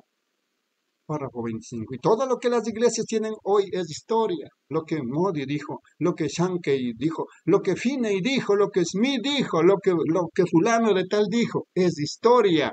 Pero Dios todavía vive y Él siempre vivirá es historia. Nosotros empezamos en 1909, empezamos en allá en el tiempo de Lutero. Empezamos en, oh hermanos, Dios nunca empezó y Él nunca terminará. Todo lo que tiene un principio tiene un fin, pero son esas cosas que nunca empezaron las que no terminan. Por eso es que no importa cuánto logremos en este mundo aumentando nuestras cosechas, nuestras denominaciones, nuestros edificios, nuestras estructuras, todos ellos tienen un principio y todos ellos terminarán. Y nosotros tenemos un principio y un fin. Pero cuando recibimos a Cristo, recibimos a Dios, Dios es eterno y nosotros llegamos a ser eternos con Dios por medio de vida eterna, la cual nunca empezó y ni nunca terminará. Párrafo 26. No permitan que eso se les olvide a ustedes. Manténganlo fresco en sus mentes y en sus corazones. Mientras que vivan, todo logro hecho por el hombre debe caer. Pero está en él el hacer eso, hacerlo así. Adán, su padre, lo probó. Él sencillamente no siguió adelante e hizo la voluntad de Dios, lo que Dios dijo. Y cuando se dio cuenta que estaba errado, entonces él trató de hacer su propia manera. Él trató de dejar una conmemoración. Yo fui el que empezó la religión de Adán. Oh, todavía existe aquí, seguro que sí, todavía existe aquí, todavía la tenemos, teorías hechas por el hombre, sin una expiación. Oh, ellos reclaman la expiación, pero la expiación limpia de pecado, y el pecado es incredulidad. Y cuando un hombre es un incrédulo en la palabra de Dios, diciendo que Jesucristo no es el mismo en el mismo poder, él es un crédulo él pudiera pertenecer a la denominación más grande y tener un doctorado en filosofía y literatura, él pudiera ser un profesor, un obispo o lo que él pudiera ser, él todavía es un pecador incrédulo. Párrafo 27. Jesús le dijo ese sistema hecho por el hombre en sus días. Ellos eran santos, ustedes no lo podían tocar, hombres reverentes, santos y sin culpa. Él dijo, vosotros sois de vuestro padre el diablo, porque ellos no le creyeron a él. Él era la palabra de Dios de hecha carne, viviendo aquí en la tierra entre nosotros, la palabra de Dios. Oh, yo, ya todo eso ha llegado ahora a ser historia. Dios permanece, pero en todo eso, cuando el relámpago bifurcado relampaguea en una noche tormentosa, muestra que puede haber luz en la oscuridad. Eso prueba que no importa cuán oscuro se ponga, todavía puede haber luz. Así que siendo que el hombre quería hacer señales y tener señales, Dios dijo un día, yo les voy a dar a ellos una super señal eterna. Yo les voy a dar a ellos una señal. Y será una super señal, una señal eterna. Nunca cambiará, permanecerá la misma ayer, hoy y por los siglos. Yo les daré una señal. Ellos no le reciben, pero aún así Dios se los da párrafo 28. No importó que no la recibiera. Ella estaba allí de todas maneras. No importa que ellos no la reciban hoy y quieran los logros hechos por el hombre. La señal de Dios todavía permanece la misma. Una super señal. No una cosa pulida del mundo con mucha educación y logros hechos por el hombre. Por hombre. No, eso no, no las cosas del mundo, ni nada ligado al mundo. Él dijo, yo no soy de este mundo. Bueno, ¿qué será? Será Dios hecho carne entre nosotros. Dios hecho carne entre nosotros. Esa será la super señal. Dios en carne. Oh, será impresionante para el mundo. Jehová Dios llegando a ser uno de nosotros. Cambió su forma de gran Jehová inmortal para llegar a ser un pequeño infante. Él podía haber venido con un saludo de todo el cielo, si él hubiera querido. Todo ángel, todo arcángel de los cielos se hubiera parado firme y las trompetas hubieran sonado a tal grado que hubieran sacudido a la tierra. Y si él hubiera escogido venir de esa manera, párrafo 29, él pudiera haber venido con, con brillo y pompa, pero no fue así. Él trajo una super señal. Él pudiera haber venido con trompetas tocando, la tierra temblando, descendiendo del cielo por los corredores dorados en una escolta angelical, querubines volando con alas cubriendo su rostro y sus pies, clamando delante de él, Santo, Santo, Santo eres tú, Señor Dios, el que era, el que es. Él pudiera haber venido de esa manera si él hubiera querido. Dios pudiera haber venido de esa manera, pero Él dijo, yo les voy a dar una super señal, les voy a mostrar que sus cosas hechas por el hombre son necedad, todo el brillo pulido de ellos no sirve para nada, yo les voy a dar una super señal. Oh, Él pudiera haber venido como un ángel, seguro que sí. Él pudiera haber venido como un gran ángel brillante, flotando por el aire. Todos les hubieran creído entonces párrafo 30 por último. Pero él dio una super señal para que como una décima de ellos lo creyera. Ven, lo que el hombre llama grande, Dios lo llama necedad. Y lo que el hombre llama necedad, Dios lo llama grande. Miren, no podemos disputar la palabra de Isaías aquí. Cuando Dios dijo por medio de Isaías, yo les daré una super señal eterna, eterna. Una virgen concebirá y dará a luz un hijo y llamará su nombre Manuel yo estaré dentro de él. Dios con nosotros, una super señal, no un erudito pulido, sino una super señal. No hay registro de que él alguna vez fue a, a, algún seminario, ni registro de que él alguna vez aprendió alguna teología hecha por el hombre, sino que él, a la edad de 12 años, él estaba parado con los sabios, disputando con ellos, y ellos no podían hacerle resistencia a su palabra. Amén. Allí está su super señal, quedándose con la palabra. Amén. Gloria a Dios. Continuamos con la lectura de este glorioso mensaje titulado La Super Señal, predicado en Chicago, Illinois, Estados Unidos, día 30 de abril del año 1961. Continuamos, hermana Margarita, párrafos 31 al 40.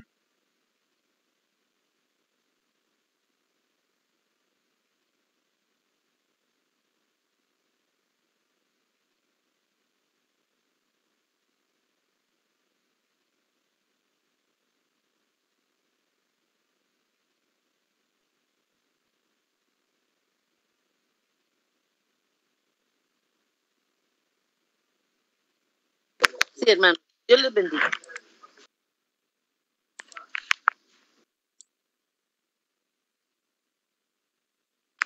Dios les bendiga.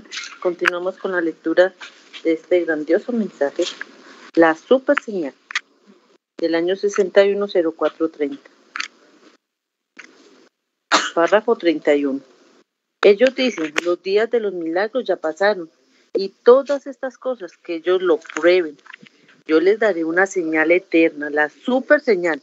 Oh, sí, miren, él pudiera haber venido como un ángel, él pudiera haber venido como él hubiera deseado, pero él escogió venir como la señal. Eso es correcto. De esa manera, él escogió venir para mostrar en estos últimos días las super señales de Dios. Una super raza.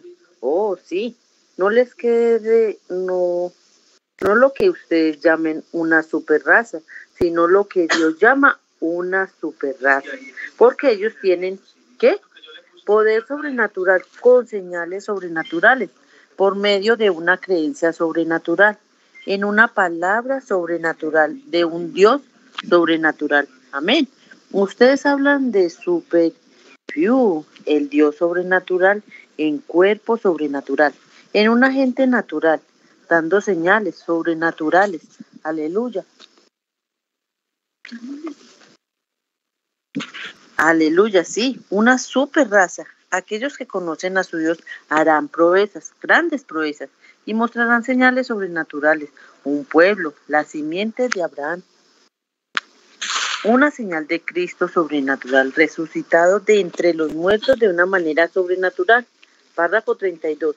Y después que dos mil años, los críticos que lo trataron de matar a él, allá en aquel entonces están tratando de hacer la misma cosa hoy, pero las mismas señales, la misma señal sobrenatural, todavía mostrada entre gente sobrenatural, la cual es la simiente de Abraham. Amén. Me siento bien. Amén. Sobrenatural. Sobrenatural. Si ustedes no creen en lo sobrenatural, ¿cómo pueden creer en Dios? No, eso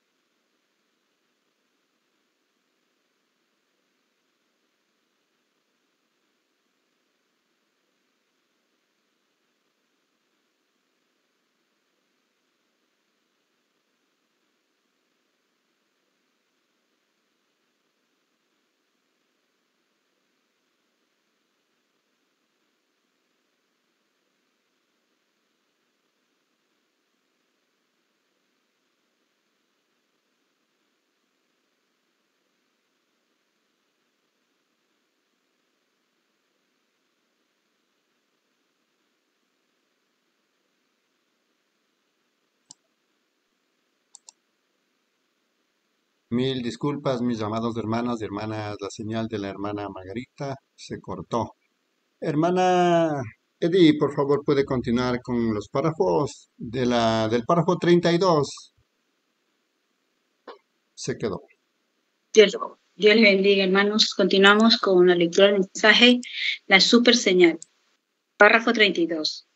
Y después de dos mil años, los críticos que lo trataron de matar a él allá en aquel entonces están tratando de hacer la misma cosa hoy. Pero las mismas señales, la misma señal sobrenatural todavía mostrada entre gente sobrenatural, la cual es la simiente de Abraham. Amén. Me siento bien. Amén. Sobrenatural, sobrenatural. Si ustedes no creen en lo sobrenatural, ¿cómo pueden creer en Dios? Nació de una manera sobrenatural, por medio de un nacimiento sobrenatural, por medio de un poder sobrenatural, hablando de súper. ¿Qué es lo que está dentro del hombre? Él quiere algo súper. Así que, ¿qué es lo que está haciendo él con su cosa súper? Se va rumbo a la muerte con eso.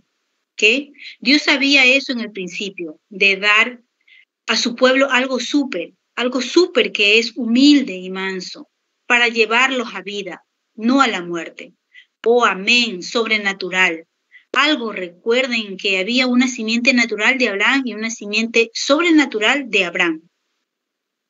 Miren, la simiente natural de Abraham, de acuerdo a Génesis 22, 16 y 17, él dijo, tu simiente poseerá las puertas de su enemigo.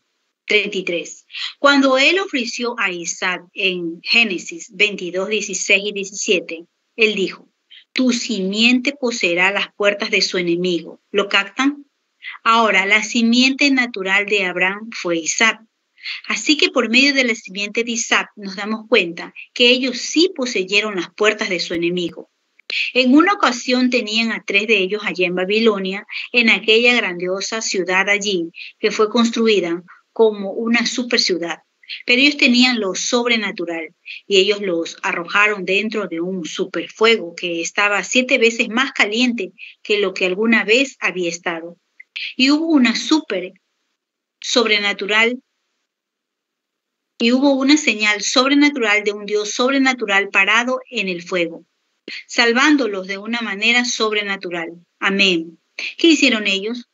Ellos poseyeron las puertas del horno de su enemigo. 34.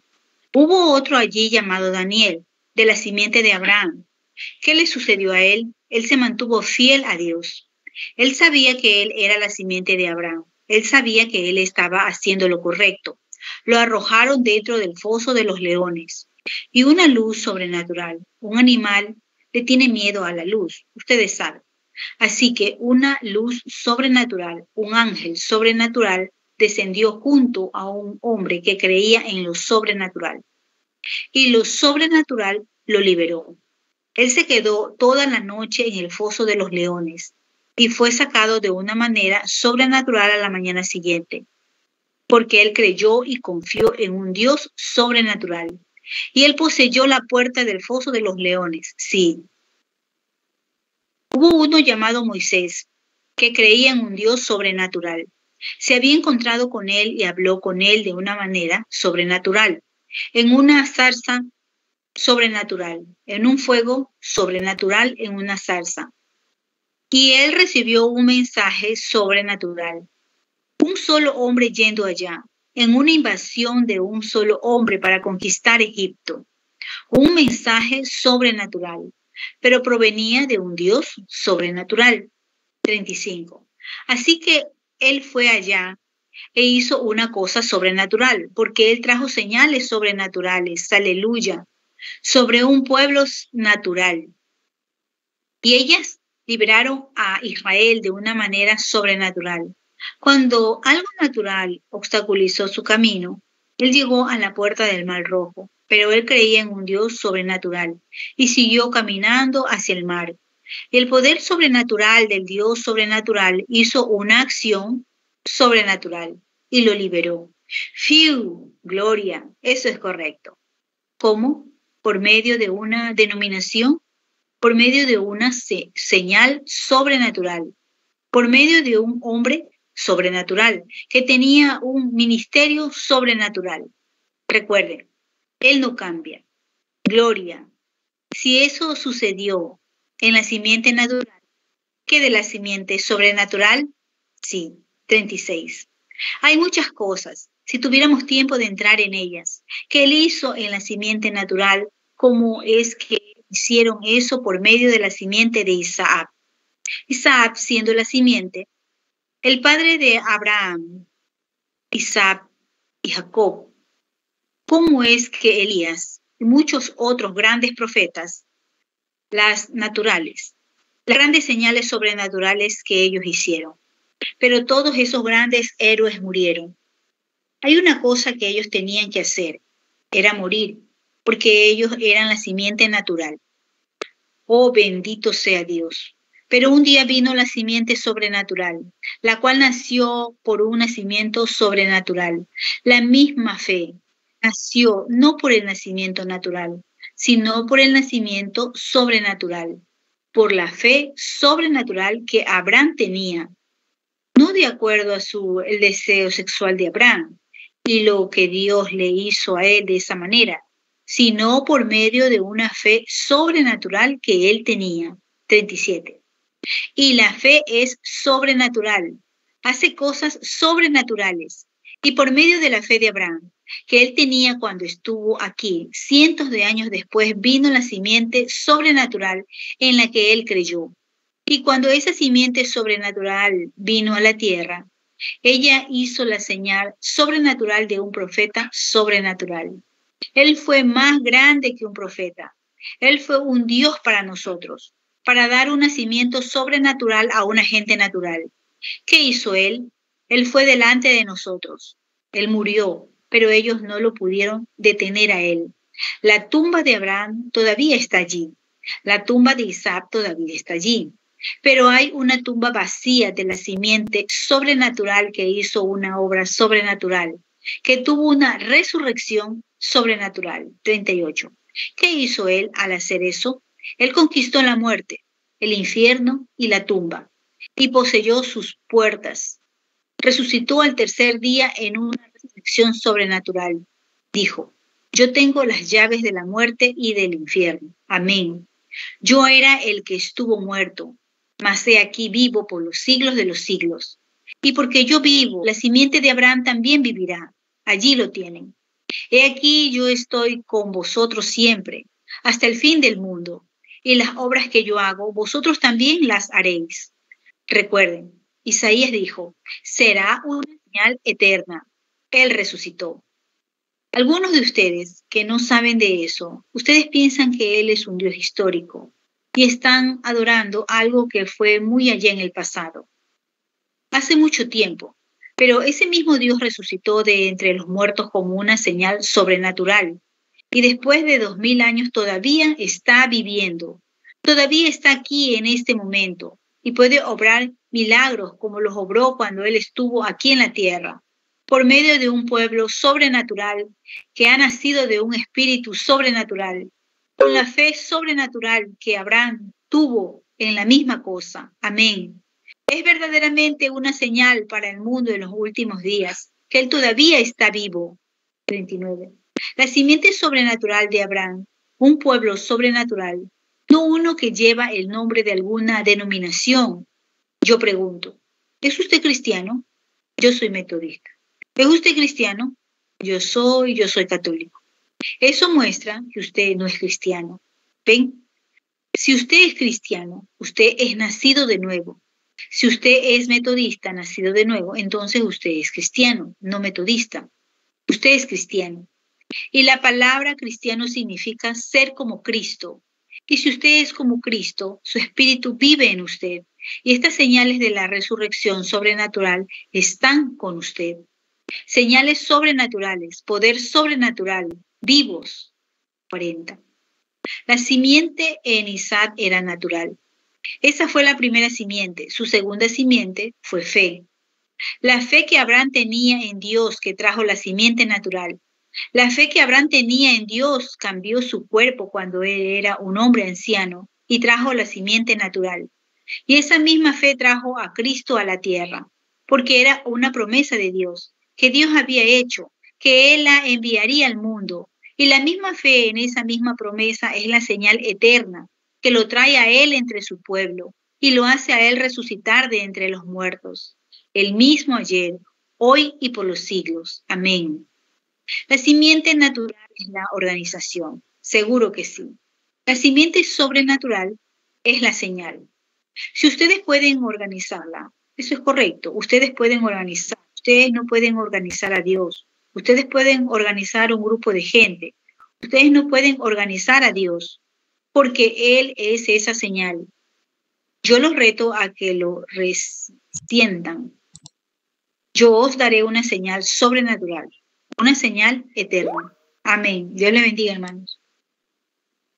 Amén, hermana Edith. Dios le bendiga la lectura. Tenemos un tiempito. Vamos a continuar con este glorioso mensaje, la super señal, predicado en Chicago, Illinois, Estados Unidos, día 30 de abril del año 1961.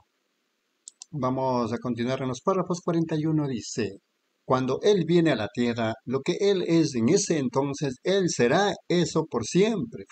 Se me olvidó eso. Yo ni siquiera sabía que estaba sudando. Estas gotas de rocío son porque estoy babeando bastante. Pero déjenme decirles a ustedes, yo estoy tan cerca a Canaán que estoy comiendo uvas nuevas. Así que eso lo hará babear a uno. Amén. Un Dios sobrenatural resucitó a Jesús de una manera sobrenatural y lo ha presentado a él vivo en la tierra para que en la simiente de Abraham en los últimos días mostrara la misma señal que la simiente sobrenatural dijo, la super simiente de Abraham hoy caerá igual que creyó al padre Abraham, creerá igual que creyó al padre Abraham. Porque la super simiente así lo dijo. Cuando él estuvo parado allí, dijo, como fue en los días de Lot, así será en la venida del Hijo del Hombre. Ese ángel, Dios hecho carne entre ellos, estuvo con su espalda hacia la tienda y le dijo a Sara lo que ella estaba pensando. Y le dijo a Abraham lo que Sara estaba pensando y haciendo en la tienda. 42. Jesús dijo que sería esa clase de señal en los últimos días, porque Él mostró la señal sobrenatural del Mesías en los judíos y a los samaritanos después de que ellos habían tenido miles de años de enseñanza, pero a los gentiles no les fue mostrada. Ahora, ¿qué clase de señal es? ¿Es una señal teológica? No, Señor, es una señal sobrenatural. ¿Cuál es? Un Mesías en carne humana. Gloria, una super señal, el Espíritu Santo. Amén. El Espíritu Santo, el Mesías resucitado viviendo en un pueblo, una simiente de Abraham que cree que Él es. Y la misma simiente sobrenatural creerá como creyó su padre Abraham, si es que ellos son la misma simiente ellos creerán la misma señal. ¡Gloria! Párrafo 43. Las organizaciones no lo creerán. Ellas le llamarán telepatía mental. Ellas le llamarán el diablo. Pero la simiente sobrenatural de Abraham, que ha nacido del poder sobrenatural de Dios, cree la misma señal sobrenatural, porque la misma palabra sobrenatural lo dice así, amén, la señal eterna. Oh, cuán poderosa, cuán grande, cuán gloriosa es nuestro Dios sobrenatural. Nada natural acerca de ello, ni organizaciones atadas a ello, ni credos hechos por el hombre. Es Dios hecho carne entre su pueblo con una creencia sobrenatural. Amén. ¿No creen ustedes? La congregación dice amén. Entonces inclinamos nuestros rostros. Oh Dios, el ser sobrenatural se me está viendo el tiempo, el tiempo se nos está yendo a todos nosotros. Señor, nos damos cuenta hace solo un año lo que sucedió el año pasado. Está avanzando velozmente. Vemos a la tierra muriendo, vemos a los hombres muriendo, vemos los edificios derrumbándose, las naciones cayendo, las organizaciones fracasando. Oh, estamos tan contentos de saber que entre nosotros está uno sobrenatural, el cual está dando a conocer a un pueblo que cree en lo sobrenatural. Dios dijo que Él nos daría una super señal y que sería una señal eterna. Entonces, Señor Dios, tú mismo te pruebas ser el Dios eterno. Tú lo has hecho y lo harás. Y aquí estamos en los últimos días y no ha sido así desde que Jesús estuvo aquí. Aquella generación recibió la señal, la señal sobrenatural y la descreyó y entró en caos. Y aquí está, después de que todos los teólogos han edificado sus grandes torres de Babilonia, nos damos cuenta que ellos no ven ninguna señal sobrenatural. Y ahora, en esta última hora, tú has descendido con una señal sobrenatural entre tu pueblo, para llamar a una simiente sobrenatural de Abraham y tomar a un pueblo de entre los gentiles por causa de tu nombre. Tú dijiste que lo harías y aquí estás. Nuestras escrituras nos dicen que Jesucristo es el mismo, la misma señal. Ayer Jesús dijo, las mismas señales que yo hago, ustedes la harán también. Yo te pido, Dios, que ellos lo vean y lo crean y crean en Jesucristo como el Salvador de ellos. Hay lenguas de interpretación. Amén, amén, sí, Señor, amén, gracias a Dios. Párrafo 45. Hay algunos aquí ahora que no conocen a Dios y que después de este mensaje se podrían pondrían de pie y dirían, yo quiero aceptarlo a Él como mi Salvador personal. Eso depende de ustedes ahora. Ustedes son los que toman la decisión. Ahora mismo háganlo rápidamente. Gracias. Dios le bendiga. Dios le bendiga. ¿Alguien más? Dios los bendiga a ustedes. Tres.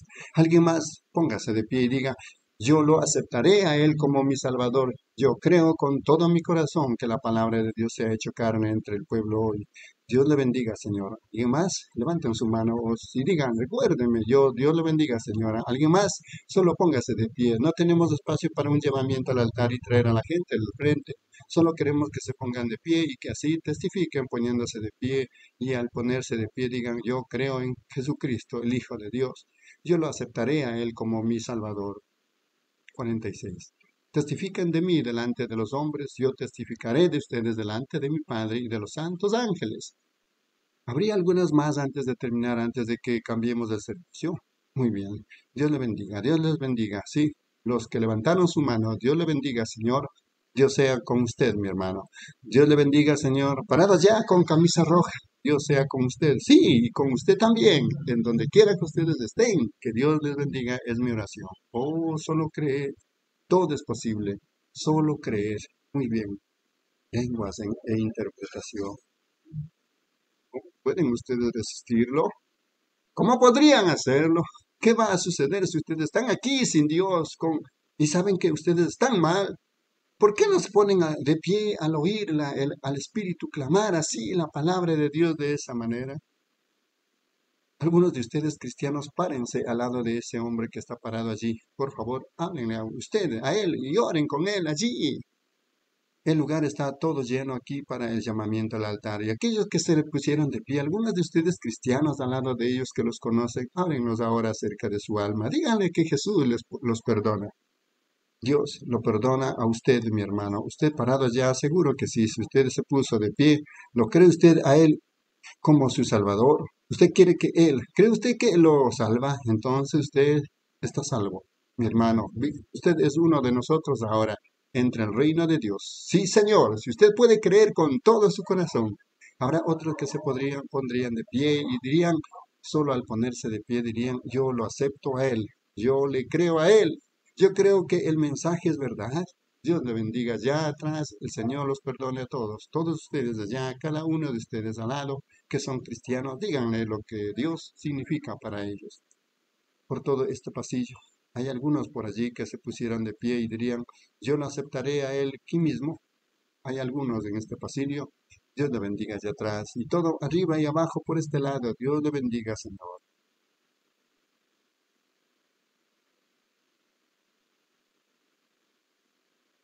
por el tiempo, mis llamados hermanos hermanas, vamos a concluir el compañerismo. Si Dios permite, el día de mañana concluiremos con este glorioso mensaje y a lo último.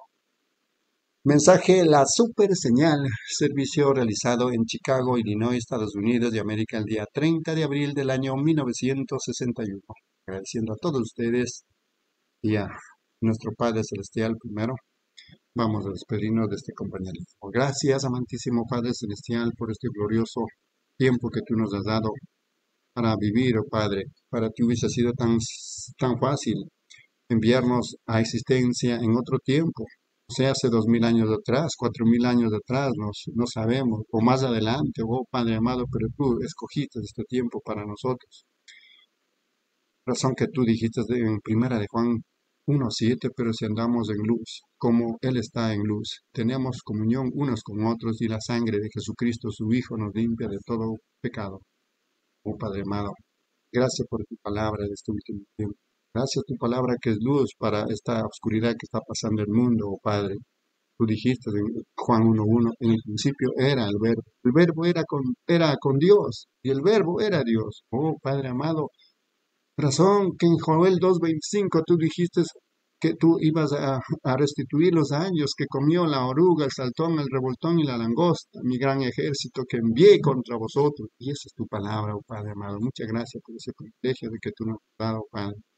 Señor Dios Todopoderoso, si hay un día más, estaremos nuevamente acercándonos humildemente ante tu palabra, Señor. Este es un compañerismo glorioso que tú nos enviaste a vuestro corazón esto no es exigido, Señor, sino ese abismo, clamando a otro abismo, que es tu palabra, Padre. Muchas gracias. En el nombre del Señor Jesucristo, que nos guíes más adelante, en cada momento, cada tiempo, Señor.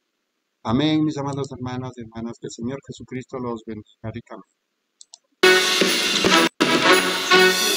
Madre son tus moradas, oh Jehová de los ejércitos, la congregación de los primogénitos. Santo Shalom, shalom, Dios los bendiga. Jehová de los ejércitos, Dios bendiga. La congregación de los primogénitos, inscritos en los cielos, el monte.